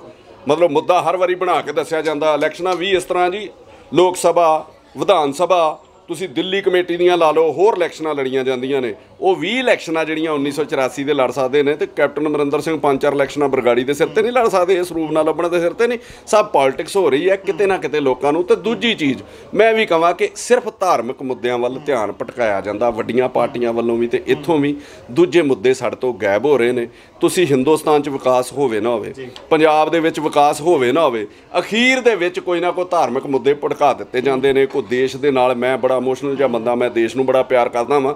ਕੋਈ ਇਹੋ ਜਿਹੇ ਮੁੱਦੇ ਲੋਕਾਂ ਸਾਹਮਣੇ ਲਿਆ ਦਿੱਤੇ ਜਾਂਦੇ ਨੇ ਕਿ ਨਹੀਂ ਯਾਰ, ਸ਼ਾਇਦ ਇਹੀ ਸਾਡੇ ਰਖਵਾਲੇ ਨੇ ਤੇ ਇਹੀ ਹੈ। ਇਹਦੇ ਸਿਰ ਦੇ ਉੱਤੇ ਸਾਰੀਆਂ ਵੋਟਾਂ ਲਈਆਂ ਜਾ ਰਹੀਆਂ, ਵਿਕਾਸ ਵਿਕਾਸ ਤੇ ਕਿਤੇ ਹੈ ਹੀ ਨਹੀਂ। ਤੇ ਸਾਡੇ ਲੋਕੀ ਅਸੀਂ ਅਨਪੜ੍ਹ ਹਾਂ, ਸਮੇਤ ਮੇਰੇ। ਅਸੀਂ ਵਿਕਾਸ ਕਿਹਨੂੰ ਸਮਝਦੇ ਹਾਂ? ਗਲੀਆਂ ਨਾਲੀਆਂ ਨੂੰ। ਇਹ ਕੰਸਟਰਕਸ਼ਨ ਹੈ। ਇਹ ਡਿਵੈਲਪਮੈਂਟ ਨਹੀਂ ਹੈ। ਡਿਵੈਲਪਮੈਂਟ ਤੇ ਤੁਹਾਡੀ ਹਿਊਮਨ ਡਿਵੈਲਪਮੈਂਟ ਹੋਣੀ ਚਾਹੀਦੀ ਹੈ। ਮੈਡੀਕਲ ਐਜੂਕੇਸ਼ਨ ਰੁਜ਼ਗਾਰ, ਇਹੋ ਜਿਹੀਆਂ ਚੀਜ਼ਾਂ ਮਿਲਣੀਆਂ ਚਾਹੀਦੀਆਂ ਨੇ। ਐਜੂਕੇਸ਼ਨ ਦੀ ਗੱਲ ਕੀਤੀ ਹੈ। ਪਿਛਲੇ ਇੱਕ ਦੋ ਦਿਨਾਂ ਤੋਂ ਇੱਕ ਹੋਰ ਮੁੱਦਾ ਭਖਿਆ, ਜਿਸ ਦੇ ਵਿੱਚ ਪੰਜਾਬ ਦੇ ਇੱਕ ਮੰਤਰੀ ਦਾ ਵੀ ਨਾਮ ਆ ਰਿਹਾ, ਸਾਧੂ ਸਿੰਘ ਧਰਮਸੋਤ ਦਾ 64 ਕਰੋੜ ਰੁਪਏ ਦੀ ਜਿਹੜੀ ਆ ਪੋਸਟ ਮੈਟ੍ਰਿਕ ਸਕਾਲਰਸ਼ਿਪ ਦਾ ਜਿਹੜਾ ਮੁੱਦਾ ਆ ਰਿਹਾ ਕਪਲਾ ਹੋਇਆ ਉਹਦੇ ਵਿੱਚ। ਤੇ ਉਸ ਤੇ ਤੁਸੀਂ ਕੀ ਕਹਿਣਾ ਚਾਹੋਗੇ? ਕਿਉਂਕਿ ਸਰੂਪ ਚੋਰੀ ਹੁੰਦੇ ਨੇ, ਠੀਕ ਹੈ, ਉਹ ਧਾਰਮਿਕ ਮੁੱਦਾ ਬਣ ਗਿਆ, ਪਰ ਜੋ ਐਜੂਕੇਸ਼ਨ ਲੋਕਾਂ ਵਾਸਤੇ ਬਹੁਤ ਜ਼ਰੂਰੀ ਹੈ, ਉਹਨਾਂ 'ਚ ਵੀ ਕਪਲੇ ਹੋ ਰਹੇ ਨੇ। ਇੱਕ ਘਪਲਾ ਹੈ ਜੀ। ਤੁਸੀਂ ਇੱਥੇ ਪੀਪੀ ਕਿੱਟਾਂ ਲਈਆਂ ਜਾਂਦੀਆਂ ਨੇ ਐਡੇ ਮਤਲਬ ਫਰੰਟ ਵਾਰੀਅਰ ਜਿਹੜੇ ਲੜਦੇ ਨੇ, ਉਹ- ਉਹਨਾਂ ਦੇ ਕੰਮ ਦੇ ਵਿੱਚ ਘਪਲਾ ਹੋ ਰਿਹਾ ਮੈਡੀਕਲ ਤੇ ਘਪਲਾ ਹੋ ਰਿਹਾ, ਬੱਚਿਆਂ ਦੀ ਪੜ੍ਹਾਈ ਤੱਕ ਤੁਸੀਂ ਆ ਦੱਸ ਰਹੇ ਹੋ ਘਪਲਾ। ਇੱਕ ਘਪਲਾ ਕਿਤੇ ਸਰਕਾਰ ਦੇ ਵਿੱਚ ਸਭ ਤੋਂ ਵੱਡੀ ਜਿਹੜੀ ਸਾਡੇ ਵਾਸਤੇ ਸ਼ਰਮਿੰਦਗੀ ਔਰ ਸਾਡੀ ਜਿਹੜੀ ਮਤਲਬ ਬਦਕਿਸਮਤੀ ਹੈ ਕਿ ਕੋਈ ਵੀ ਪਾਰਟੀ ਕਰਪਸ਼ਨ ਦੇ ਮੁੱਦੇ ਲੈ ਕੇ ਨਹੀਂ ਆ ਰਹੀ। ਜੇ ਉਹ 61 62 ਕਰੋੜ ਰੁਪਏ ਦਾ ਘਪਲਾ ਨਿਕਲਿਆ ਤੇ ਕੀ ਗੱਲ ਹੈ? ਫਿਰ ਕਰੋਨਾ ਜ਼ਿਆਦਾ ਵੀ ਆ, ਇਹਨਾਂ ਸਾਰਿਆਂ ਨੂੰ ਵਿਧਾਨ ਸਭਾ ਦੇ ਬਾਹਰ ਬਹਿ ਜਾਣਾ ਚਾਹੀਦਾ ਵੀ ਪਰਚਾ ਦਰਜ ਕਰੋ, ਮੰਤਰੀ ਦੇ ਉੱਤੇ ਜਾਂ ਫੜ ਕੇ ਅੰਦਰ ਦਿਓ ਇਹਦੀ ਕਾਰਵਾਈ ਜਿਹੜੀ ਹੋਣੀ ਚਾਹੀਦੀ ਹੈ। ਕਾਰਨ ਕੀ ਹੈ? ਇੱਥੇ ਸਭ ਦਾ ਫਿਕਸ ਮੈਚ ਹੈ। ਨਾ ਕੋ ਆਪੋਜੀਸ਼ਨ ਰੋਲ ਨਿਭਾ ਰਹੀ ਹੈ, ਨਾ ਅਕਾਲੀ ਦਲ ਰੋਲ ਨਿਭਾ ਰਿਹਾ। ਮੁੱਦੇ ਉਹ ਬਾਹਰ ਨਿਕਲ ਕੇ ਆਉਂਦੇ ਨੇ, ਕਿ ਸ਼ਰਾਬ ਨਾਲ ਮੌਤਾਂ ਆਈਆਂ, ਜਿਹੜੀਆਂ ਅਖਬਾਰਾਂ 'ਚ ਤੁਹਾਡੇ ਚੈਨਲਾਂ ਤੇ ਆ ਜਾਂਦੀਆਂ ਵੀ ਆਹ ਵਾਰਦਾਤ ਹੋ ਗਈ ਤੇ ਉੱਥੇ ਸਾਰੀ ਰਾਜਨੀਤੀ ਹੋ ਰਹੀ ਹੈ। 10 ਸਾਲ ਪਿਛਲੇ, ਜੋ ਅਕਾਲੀ ਦਲ ਵੇਲੇ ਕਰਪਸ਼ਨ ਹੋਈ ਹੈ, ਹੁਣ ਉਹ ਬੰਦ ਹੋ ਗਈ ਹੈ। ਰੇਤ ਮਾਫੀਆ ਬੰਦ ਹੈ ਟਰਾਂਸਪੋਰਟ ਮਾਫੀਆ ਬੰਦ ਹੈ ਕੇਬਲ ਮਾਫੀਆ ਬੰਦ ਹੈ ਡਰੱਗ ਮਾਫੀਆ ਬੰਦ ਹੈ। ਉਸੇ ਤਰੀਕੇ ਹੀ ਚੱਲ ਰਿਹਾ ਉਹ ਘਪਲੇ ਕੋ ਲੈ ਕੇ ਨਹੀਂ ਆਉਂਦਾ ਤੇ ਮੈਂ ਕੱਲਾ ਕਿੰਨਾ ਕੁ ਰੌਲਾ ਪਾ ਸਕਦਾ ਵਾਂ? ਮੈਨੂੰ ਰੋਜ਼ ਤੇ ਤੁਸੀਂ ਵੀ ਨਹੀਂ ਚਲਾ ਸਕਦੇ। ਜੇ ਮੈਂ ਰੋਜ਼ ਹੀ ਤੁਹਾਡੇ ਚੈਨਲ ਤੇ ਆ ਕੇ ਕੋਈ ਮੁੱਦਾ ਲੈ ਕੇ ਬਹਿਣਾ ਤੇ ਤੁਸੀਂ ਵੀ ਕਹਿਣਾ, ਛੱਡ ਯਾਰ, ਇਹ ਮਤਲਬ ਦਿਹਾੜੀ ਤੇ ਲੱਗ ਗਿਆ ਕੋਈ। ਹਰ ਬੰਦੇ ਨੂੰ ਆਪਣਾ ਫਰਜ਼ ਸਮਝਣਾ ਚਾਹੀਦਾ, ਨਾ ਕੱਲੇ ਮੰਨੇ ਦੇ ਬੋਲਣ ਨਾਲ ਕੁਝ ਹੋਣਾ। ਕੱਲਾ ਲੁਧਿਆਣਾ ਟਾਈਮਜ਼ ਨਾਲ ਵੀ ਨਹੀਂ ਚੱਲ ਸਕਦਾ। ਮਤਲਬ ਹਰ ਚੈਨਲ ਨੂੰ ਆਪਣਾ ਫਰਜ਼ ਨਿਭਾਉਣਾ ਚਾਹੀਦਾ, ਹਰ ਬੰਦੇ ਨੂੰ ਗਲੀ ਗਲੀ ਮੈਂ ਰੋਜ਼ ਰੌਲਾ ਪਾਉਣਾ ਬੋਲਣ ਵਾਲੇ ਲੋਕ। ਸ਼ਹਿਰਾਂ ਦੇ ਵਿੱਚ ਪਿੰਡਾਂ ਦੇ ਵਿੱਚ ਅੱਗੇ ਆਉਣੇ ਚਾਹੀਦੇ ਨੇ ਹਰ ਜਗ੍ਹਾ ਦੇ ਉੱਤੇ ਘਪਲੇ ਹੋ ਰਹੇ ਆ। ਇਹ ਤੁਸੀਂ ਮੈਨੂੰ ਆ ਜਿਹੜਾ ਦੱਸ ਰਹੇ ਹੋ ਪਿੰਡ ਪਿੰਡ ਘਪਲੇ ਨੇ ਸਰਪੰਚ ਲੈਵਲ ਤੋਂ ਲੈ ਕੇ ਵੀਡੀਓ ਲੈਵਲ ਤੋਂ ਲੈ ਕੇ ਕਿਉਂ ਨਹੀਂ ਲੋਕ ਸਾਹਮਣੇ ਆਉਂਦੇ? ਕੀ ਨਹੀਂ ਇਸ ਤੇ ਅ, ਮੁੱਖ ਸਕੱਤਰ ਜੋ ਸੀਗਾ ਉਹਨੂੰ ਵੀ ਅ, ਉਹ ਆਪਣਾ ਅਸਤੀਫਾ ਭੇਜਦਾ ਕੈਨੇਡਾ ਬੈਠਾ ਰੂਪ ਸਿੰਘ। ਉਹ ਆਪਣਾ ਅਸਤੀਫਾ ਭੇਜਦਾ ਬਾਹਰੋਂ ਬਾਹਰ ਉਸਦਾ ਅਸਤੀਫਾ ਵੀ ਪ੍ਰਵਾਨ ਕਰ ਲਿਆ ਜਾਂਦਾ। ਹੈ। ਤੇ ਕਾਰਵਾਈ ਦੀ ਫਿਰ ਕੋਈ ਲੋੜ ਨਹੀਂ ਜਦ ਅਸਤੀਫਾ ਹੀ ਪ੍ਰਵਾਨ ਕਰ ਉਹ ਐਡਾ ਮਤਲਬ ਮੈਂ ਉਹਨੂੰ ਥੋੜਾ ਬਹੁਤਾ ਚੰਗਾ ਬੰਦਾ ਸਮਝਦਾ ਸੀ ਅਹ ਡਾਕਟਰ ਰੂਪ ਸਿੰਘ ਦੀ ਗੱਲ ਕਰ ਰਹੇ ਹੋ ਤੁਸੀਂ। ਮੇਰੀ ਨਜ਼ਰ 'ਚੋਂ ਐਡਾ ਘਟੀਆ ਬੰਦਾ ਹੈ ਕਿ 2 ਜੁਲਾਈ ਨੂੰ ਮੈਂ ਮੁੱਦਾ ਚੁੱਕਦਾ। 12 ਜੁਲਾਈ ਨੂੰ ਸ਼੍ਰੋਮਣੀ ਕਮੇਟੀ ਫੈਸਲਾ ਲੈਂਦੀ ਹੈ ਕਿ ਕਾਲ ਤਖਤ ਦੇ ਜਥੇਦਾਰੇ ਦੀ ਜਾਂਚ ਕਰਨਗੇ ਅਕਾਲ ਤਖਤ ਦੇ ਜਥੇਦਾਰ ਇਹ ਸਟੇਟਮੈਂਟ ਦੇ ਦਿੰਦੇ ਨੇ ਕਿ ਮੈਂ 1 ਮਹੀਨੇ 'ਚ ਜਾਂਚ ਮੁਕੰਮਲ ਕਰਾਂਗਾ ਇਹਨੂੰ ਔਰ ਉਹ ਬੰਦਾ 14 ਤਰੀਕ ਨੂੰ ਟਿਕਟ ਕਰਾ ਕੇ ਤੇ ਆਪਣੇ ਬੇਟੇ ਨੂੰ ਮਿਲਣ ਦਾ ਬਹਾਨਾ ਬਣਾ ਕੇ ਤੇ ਕੈਨੇਡਾ ਚਲੇ ਜਾਂਦਾ ਹੈ। ਤੇ ਮੈਂ ਇੱਕ ਦਿਨ ਅੱਗੇ ਵੀ ਕਿਹਾ ਸੀਗਾ ਕਿ ਤੁਸੀਂ ਯਾਰ ਉਹਨਾਂ ਸੰਸਥਾਵਾਂ ਨੂੰ ਚਲਾਉਂਦੇ ਹੋ ਜਿਨ੍ਹਾਂ ਨੂੰ ਮਤਲਬ ਗੁਰੂਆਂ ਪੀਰਾਂ ਦੀਆਂ ਜਿਹੜੇ ਮਤਲਬ ਉਪਦੇਸ਼ਾਂ ਨਾਲ ਚੱਲਦੀਆਂ ਨੇ। ਗੁਰੂ ਗੋਬਿੰਦ ਸਿੰਘ ਜੀ ਨੇ। ਉਹਨਾਂ ਤੇ ਆਪਣੇ ਮਤਲਬ ਕੌਮ ਲਈ ਚਾਰ ਜਿਹੜੇ ਬੱਚੇ ਵਾਰ ਦਿੱਤੇ ਸੀਗੇ ਤੇ ਤੁਸੀਂ ਗੁਰੂ ਗ੍ਰੰਥ ਸਾਹਿਬ ਵਾਰ ਕੇ ਤੇ ਆ ਬਾਹਰਲੇ ਮੁਲਕ 'ਚ ਚੱਲ ਗਏ ਹੋ। ਲੱਖ ਲੈਣ ਤਾਂ ਤੁਹਾਡੇ ਉੱਤੇ ਤੁਹਾਨੂੰ ਇੱਥੇ ਰਹਿਣਾ ਚਾਹੀਦਾ ਸੀਗਾ। ਕੱਲ ਉਹਨੂੰ ਵੀ ਇਹਨਾਂ ਸਸਪੈਂਡ ਕਰਨਾ ਸੀ, ਉਹ ਅਸਤੀਫਾ ਦੇ ਗਿਆ। ਉਹ ਆਪਣੇ ਨਾਂ ਨਾਲ ਡਾਕਟਰ ਲਾਉਂਦਾ ਆਪਣਾ। ਇੱਕ ਘਪਲਾ ਨਹੀਂ ਹੋਇਆ। ਬਾਲਣ ਦਾ ਘਪਲਾ ਮੈਂ ਕੱਢਿਆ ਇਹਨਾਂ ਦਾ। ਟੈਂਟ ਲਾਇਆ, ਉਹਦਾ ਘਪਲਾ ਕੱਢਿਆ। ਇਹੋ ਜਿਹੇ ਕਈ ਘਿਓ ਦਾ ਘਪਲਾ ਮੈਂ ਇਹਨਾਂ ਦਾ ਕੱਢਿਆ। ਇਹੋ ਜਿਹੇ ਕਈ ਸਾਰਾ ਗੜੀ ਸਰਾਂ ਦਾ ਮੈਂ ਘਪਲਾ ਇਹੋ ਜਿਹਾ ਕੱਢਿਆ। ਉਹ ਡਾਕਟਰ ਸੀਗਾ, ਡਾਕਟਰ ਰੂਪ ਸਿੰਘ ਤੇ ਉਹਨੂੰ ਮੈਂ ਕਿਹਾ ਸੀਗਾ ਕਿ ਜਿੰਨੀਆਂ ਬਾਦਲਾਂ ਵੱਲੋਂ ਕੁੱਤੇ ਆਪਰੇਸ਼ਨ ਕੀਤੇ ਜਾਂਦੇ ਨੇ, ਉਹ ਸਾਰੀ ਸਰਜਰੀ ਉਹਨਾਂ ਦੀ ਤੂੰ ਕਰਦਾ। ਡਾਕਟਰ, ਤੂੰ ਇਹਨਾਂ ਕੰਮਾਂ ਦਾ ਲੱਗਾ ਆ ਲੱਖ ਲਾਹਨ ਤੇ ਉਸ ਬੰਦੇ ਦੇ ਉੱਤੇ। ਉਹਨਾਂ ਦੇ ਉੱਤੇ ਪਰ- ਤੁਸੀਂ ਦੇਖੋ ਮੁੱਖ ਸਕੱਤਰ ਦੇ ਉੱਤੇ ਕਹਿੰਦੇ ਨੇ ਕਿ ਇਹਨੇ ਪਛਤਾਤਾਪ ਨਹੀਂ ਕੀਤਾ, ਉਹ ਜਿਹੜਾ ਪੁਰਾਣਾ ਸੀਗਾ, ਹਰਚਰਨ ਸਿੰਘ, ਉੱਤੇ ਪਰਚਾ ਦਿੱਤਾ ਜਾਵੇ। 2016 ਤੋਂ ਬਾਅਦ ਜਿਹੜੇ ਜਿਹੜੇ ਮੁੱਖ ਸਕੱਤਰ ਰਹੇ, ਉਹਨਾਂ ਤੇ ਪਰਚਾ ਨਹੀਂ ਬਣਦਾ ਵੀ, ਉਹਨਾਂ ਨੂੰ ਨਹੀਂ ਪਤਾ ਸੀ ਵੀ ਇਹ ਇਹ ਕੰਮ ਨਹੀਂ ਹੋਇਆ ਤੇ ਇਹ ਕਤਾਈ ਹੋਈ ਹੈ ਤੇ ਫਿਰ ਉਹਨਾਂ ਅੱਗੋਂ ਆ ਕੇ ਆਪਣੀ ਜ਼ਿੰਮੇਵਾਰੀ ਕੀ ਨਿਭਾਈ ਕਿਉਂ ਨਹੀਂ ਉਹਨਾਂ ਦੇ ਉੱਤੇ ਪਰਚਾ ਦਰਜ ਕੀਤਾ ਜਾ ਰਿਹਾ? ਕਿਉਂ ਨਹੀਂ ਉਹਨਾਂ ਦੇ ਉੱਤੇ ਕਾਰਵਾਈ ਕੀਤੀ ਜਾ ਰਹੀ? 2 ਜੁਲਾਈ ਨੂੰ ਮੈਂ ਕਿਹਾ ਜੀ, ਉਸ ਤੋਂ 10 ਦਿਨ ਪਹਿਲਾਂ ਜਿਹੜਾ ਉੱਥੋਂ ਦਾ ਇੰਚਾਰਜ ਸੀਗਾ ਕਮਲਜੀਤ ਉਹ ਜਾ ਕੇ ਪੁਲਿਸ ਕਮਿਸ਼ਨਰ ਨੂੰ ਕੰਪਲੇਂਟ ਦੇ ਕੇ ਆਉਂਦਾ। ਉਹਨੇ ਪ੍ਰਧਾਨ ਨੂੰ ਚਿੱਠੀ ਲਿਖੀ ਕਿ ਗੁਰੂ ਗ੍ਰੰਥ ਸਾਹਿਬ ਦੇ ਸਰੂਪ ਗਾਇਬ ਨੇ ਆ ਸਾਰਾ ਕੁਝ ਕੀਤਾ ਜਾਵੇ। ਤੇ ਜਿੰਨੇ ਲੋਕਾਂ ਨੇ ਉਹ ਜਿਹੜਾ ਜੁਲਾਈ ਮਹੀਨੇ ਤੋਂ ਲੈ ਕੇ ਅਗਸਤ ਐਂਡ ਤੱਕ ਉਹ ਦਬਾ ਛੱਡਿਆ 2 ਮਹੀਨੇ ਤੇ ਕੀ ਗੱਲ? ਉਹਨਾਂ ਦੇ ਉੱਤੇ ਪਰਚਾ ਦਰਜ ਨਹੀਂ ਹੋਣਾ ਚਾਹੀਦਾ। ਕੀ ਉਹ ਚਾਹੁੰਦੇ ਸੀਗੇ? ਕੀ ਉਹ ਚੋਂ ਕੱਢਣਾ ਚਾਹੁੰਦੇ ਸੀ? ਮੈਂ ਫਿਰ ਕਹਿ ਦਿੰਦਾ, ਜੇ ਰੌਲਾ ਨਾ ਪੈਂਦਾ, ਜੇ ਮਤਲਬ ਇਹ ਤੇ ਬਾਰ-ਬਾਰ ਮੈਂ ਉੱਚੀ ਨਾ ਬੋਲਦਾ ਤੇ ਇਹਨਾਂ ਨੇ ਗੁਰੂ ਗ੍ਰੰਥ ਸਾਹਿਬ ਇਹ ਐਡੇ ਕੁੱਤੇ ਲੋਕ ਨੇ, ਇਹਨਾਂ ਨੇ ਛਪਾ ਕੇ ਉੱਥੇ ਪੂਰੇ ਕਰ ਦੇਣੇ ਸੀਗੇ, ਜਿਹਦੇ ਉਹ ਪੂਰੀ ਨਿਗਰਾਨੀ ਰਹੀ। ਜਸਟਿਸ ਜੀਤ ਸਿੰਘ ਬੈਂਸ ਉਹਨਾਂ ਦੀ ਟੀਮ ਦੀ ਵੀ ਰਹੀ ਤੇ ਔਰ ਮੇਰੀ ਵੀ ਰਹੀ, ਇਹਨਾਂ ਨੂੰ ਛਾਪ ਕੇ ਉੱਥੇ ਰੱਖਣ ਨਹੀਂ ਦਿੱਤੇ ਗਏ। ਇਹ ਐਡੇ ਮਤਲਬ ਘਟੀਆ ਕਿਸਮ ਦੇ ਲੋਕ ਨੇ, ਇਹਨਾਂ ਨੂੰ ਇਹਨਾਂ ਨੂੰ ਗੁਰੂ ਲੱਭਣ। ਅੱਜ ਤੁਸੀਂ ਦੇਖੋ ਗੁਰੂ ਗ੍ਰੰਥ ਸਾਹਿਬ ਗਾਇਬ ਨੇ ਨਾ 328 ਜਦੋਂ ਇਲੈਕਸ਼ਨ ਆਏਗੀ, ਕਿਤੇ ਨਾ ਕਿਤੇ ਫਿਰ ਨਿਕਲਣਗੇ, ਫਿਰ ਕਿਸੇ ਦੀ ਬੇਦਬੀ ਕੀਤੀ ਜਾਊਗੀ ਔਰ ਉਹਨਾਂ ਮਸਲਿਆਂ ਦੇ ਵਿੱਚ ਅਸੀਂ ਉਲਝ ਜਾਾਂਗੇ ਵੱਡੇ ਵੱਡੇ ਲੀਡਰ ਬਿਆਨ ਦੇਣਗੇ। ਮੈਂ ਬਾਰ-ਬਾਰ ਕਹਿੰਦਾ ਕਿ ਇਹ ਅਸੀਂ ਜਿੱਥੋਂ ਸਾਡੀ ਸੋਚ ਖਤਮ ਹੁੰਦੀ ਇਹਨਾਂ ਲੋਕਾਂ ਦੀ ਸ਼ੁਰੂ ਹੁੰਦੀ ਆ। ਅਸੀਂ ਭਾਵੁਕ ਜੇ ਲੋਕ ਆ ਆਪਣੀਆਂ ਭਾਵਨਾਵਾਂ ਨੂੰ ਲੈ ਕੇ ਬੋਲਦੇ ਆ। ਇਹ ਪ੍ਰੋਫੈਸ਼ਨਲ ਲੋਕ ਨੇ ਕਿ ਲੋਕਾਂ ਨੂੰ ਕੈਸ਼ ਕਿੱਦਾਂ ਕਰਨਾ ਔਰ ਲੋਕਾਂ ਦੀਆਂ ਫੀਲਿੰਗਸ ਦੇ ਨਾਲ ਖਲਵਾੜ ਕਿੱਦਾਂ ਕਰਨਾ। ਮੰਨਾ ਇੱਕ ਆਖਰੀ ਸਵਾਲ ਮੇਰਾ ਆਹੀ ਹੈ ਲੁਧਿਆਣੇ ਵਿੱਚ ਕੁਝ ਮਹੀਨੇ ਪਹਿਲਾਂ ਗੁਰੂ ਨਾਨਕ ਮੋਦੀ ਖਾਨਾ ਖੁੱਲਦਾ ਜਿਸ ਦੀ ਤੁਸੀਂ ਵੀ ਓਪਨਿੰਗ ਵੇਲੇ ਆਨੇ ਹੋ। ਪੂਰੇ ਪੰਜਾਬ ਦਾ ਇਸ਼ੂ ਬਣਦਾ ਜਦੋਂ ਉਹਨਾਂ ਦੀ ਦਵਾਈਆਂ ਬੰਦ ਹੋ ਜਾਂਦੀਆਂ ਨੇ। ਹੁਣ ਫੇਰ ਵਿਵਾਦ ਚੱਲ ਰਿਹਾ ਬਲਜਿੰਦਰ ਸਿੰਘ ਜਿੰਦੂ ਤੇ ਉਹਨਾਂ ਨੇ ਸ਼੍ਰੀ ਰਾਮਚੰਦਰ ਜੀ ਬਾਰੇ ਅਪਸ਼ਬਦ ਵਰਤੇ। ਉਹਨਾਂ ਤੇ ਪਰਚਾ ਦਰਜ ਹੋਇਆ 295 ਏ ਦਾ ਜ਼ਮਾਨਤ ਅਰਜੀ ਲੱਗੀ ਹੋਈ ਹੈ। ਉਹਨਾਂ ਦੇ ਤੁਸੀਂ ਕੀ ਕਹਿਣਾ ਚਾਹੋਗੇ? ਦੇਖੋ ਮੈਂ ਵੀ ਇੱਥੇ ਆਇਆ ਸੀਗਾ। ਮੈਨੂੰ ਇਹ ਕਨਸੈਪਟ ਬੜਾ ਵਧੀਆ ਲੱਗਾ ਸੀਗਾ ਕਿ ਇਸ ਤਰੀਕੇ ਦੇ ਮਤਲਬ ਲੋਕਾਂ ਨੂੰ ਅੱਜ ਦੇ ਦੌਰ ਦੇ ਵਿੱਚ, ਜਿਸ ਦੌਰ 'ਚੋਂ ਅਸੀਂ ਗੁਜ਼ਰ ਰਹੇ ਹਾਂ, ਉਹਦੇ ਵਿੱਚ ਬਹੁਤ ਜ਼ਿਆਦਾ ਲੋੜ ਹੈ। ਔਰ ਮੈਨੂੰ ਮੈਨੂੰ ਵੀ ਇੱਥੇ ਆ ਕੇ ਤੇ ਉੱਥੇ ਜਦੋਂ ਓਪਨਿੰਗ ਹੋਈ ਤੇ ਉਹ ਕਰਨ ਦਾ ਮੌਕਾ ਮਿਲਿਆ। ਪਰ ਮੈਂ ਤੁਹਾਨੂੰ ਦੱਸਾਂ ਜਿਹੜੀ ਸ਼ੌਹਰਤ ਹੈ ਨਾ ਇੱਕ ਬੁਲਬਲਾ। ਮਤਲਬ ਇਹਨੂੰ ਸਾਂਭ ਕੇ ਰੱਖਣਾ ਬੜਾ ਬੈਲੈਂਸ ਬਣਾ ਕੇ ਤੁਹਾਨੂੰ ਪਾਣੀ ਦੇ ਉੱਤੇ ਰੱਖਣਾ ਪੈਂਦਾ। ਜੇ ਇਹਨੂੰ ਮਤਲਬ ਤੁਸੀਂ ਲੰਬੇ ਸਮੇਂ ਤੱਕ ਟਿਕੇ ਰਹਿਣਾ ਚਾਹੁੰਦੇ ਹੋ ਇੱਕ ਵਾਰੀ ਬੁਲਬਲਾ ਫੁੱਟ ਗਿਆ ਫਿਰ ਬੜਾ ਵਾਇਆ ਤੁਹਾਨੂੰ ਪਾ ਕੇ ਬੱਦਲਾਂ 'ਚ ਜਾ ਕੇ ਤੇ ਫਿਰ ਦੁਬਾਰਾ ਵਰਸਣਾ ਪੈਣਾ ਤੇ ਫਿਰ ਜਾ ਕੇ ਬਣਨਾ ਪੈਣਾ। ਤੇ ਦੁਬਾਰਾ ਉਹ ਪੋਸੀਬਲ ਨਹੀਂ ਹੁੰਦਾ। ਮੈਂ ਫਿਰ ਕਹਿੰਦਾ ਕਿ ਤੁਸੀਂ ਦੇਖੋ ਇੱਕ ਕਨਸੈਪਟ ਚਲਾਇਆ ਉਹਦੇ ਤੁਹਾਨੂੰ ਲਕੀਰ ਦੇ ਫਕੀਰ ਹੋਣਾ ਚਾਹੀਦਾ ਸੀਗਾ। ਕਿਸੇ ਵੀ ਧਰਮ ਦਾ। ਤੁਸੀਂ ਉਹਨੂੰ ਮੰਨਣਾ ਮੰਨੋ, ਨਹੀਂ ਮੰਨਣਾ ਨਾ ਮੰਨੋ, ਪਰ ਹਰ ਧਰਮ ਦਾ ਸਤਿਕਾਰ ਕਰਨਾ ਸਾਡਾ ਫਰਜ਼ ਬਣਦਾ, ਉਹ ਤੁਹਾਡੇ ਧਰਮ ਬਾਰੇ ਕੁਝ ਮਾੜਾ ਚੰਗਾ ਬੋਲਦੇ ਨੇ ਤੇ ਇਸ਼ੂ ਤੇ ਤੁਹਾਡਾ ਵੀ ਮ- ਮਤਲਬ ਮੋਦੀ ਖਾਨਾ ਵੀ ਉੱਥੇ ਰਹਿ ਗਿਆ ਤੇ ਬਾਕੀ ਵੀ ਸਾਰੇ ਇਸ਼ੂ ਉੱਥੇ ਟੱਪ ਰਹਿ ਗਏ। ਆਪਣੇ ਸੰਯਮ ਤੋਂ ਕੰਮ ਲੈਣਾ ਚਾਹੀਦਾ ਔਰ ਜਿੱਥੇ ਕਿਤੇ ਵੀ ਮਤਲਬ ਗਲਤੀ ਹੈ ਨਾ, ਲੋਕਾਂ ਨੇ ਮਤਲਬ ਉਹਦੇ ਉੱਤੇ ਕੇਸ ਮੇਰੇ ਖਿਆਲ ਰਜਿਸਟਰਡ ਹੋਇਆ, ਉਸ ਤੋਂ ਬਾਅਦ ਹੁਣ ਕੋਰਟ ਉੱਤੇ ਆਪਣਾ ਫੈਸਲਾ ਜੋ ਦੇਗੀ ਦੇਖੀ ਜਾਏਗੀ। ਬਹੁਤ ਬਹੁਤ ਧੰਨਵਾਦ ਜੀ, ਤਾਂ ਇਹ ਸਨ ਸਾਡੇ ਨਾਲ ਮਨਦੀਪ ਸਿੰਘ ਮੰਨਾ, ਇਹ ਜਿਨ੍ਹਾਂ ਦੇ ਨਾਲ ਆਪਾਂ ਹਰੇਕ ਮੁੱਦੇ ਤੇ ਗੱਲਬਾਤ ਕੀਤੀ ਹੈ, ਚਾਹੇ ਉਹ ਐਸਜੀਪੀਸੀ ਦਾ ਹੋਵੇ, ਚਾਹੇ ਕਰੋਨਾ ਵਾਇਰਸ ਹੋਣ, ਚਾਹੇ ਸਕਾਲਰਸ਼ਿਪ ਦਾ ਮੁੱਦਾ ਹੋਵੇ 64 ਕਰੋੜ ਦਾ ਜੋ ਕਪਲਾ ਹੋਇਆ ਹਰੇਕ ਤੇ ਇਹਨਾਂ ਨੇ ਆਪਣੇ ਵਿਚਾਰ ਦਿੱਤੇ ਨੇ। ਤਾਂ ਵਧੇਰੇ ਅਪਡੇਟਸ ਸੀ ਸਾਡੇ ਨਾਲ ਜੁੜੇ ਰਹੋ, ਲੁਧਿਆਣਾ ਤੋਂ ਸਨਮਜੀਤ ਸਿੰਘ, ਕੈਮਰਾਮੈਨ ਸਤਵੰਤ ਮਠਾੜੂ ਦੇ ਨਾਲ ਪਬਲਿਕ ਟਾਈਮਸ ਵਧੇਰੇ ਜਾਣਕਾਰੀ ਲਈ ਸਬਸਕ੍ਰਾਈਬ ਕਰੋ ਸਾਡਾ YouTube ਚੈਨਲ ਪਬਲਿਕ ਟਾਈਮਜ਼ ਅਤੇ ਨੋਟੀਫਿਕੇਸ਼ਨ ਲਈ ਬੈਲ ਆਈਕਨ ਤੇ ਕਲਿੱਕ ਕਰਨਾ ਨਾ ਭੁੱਲੋ।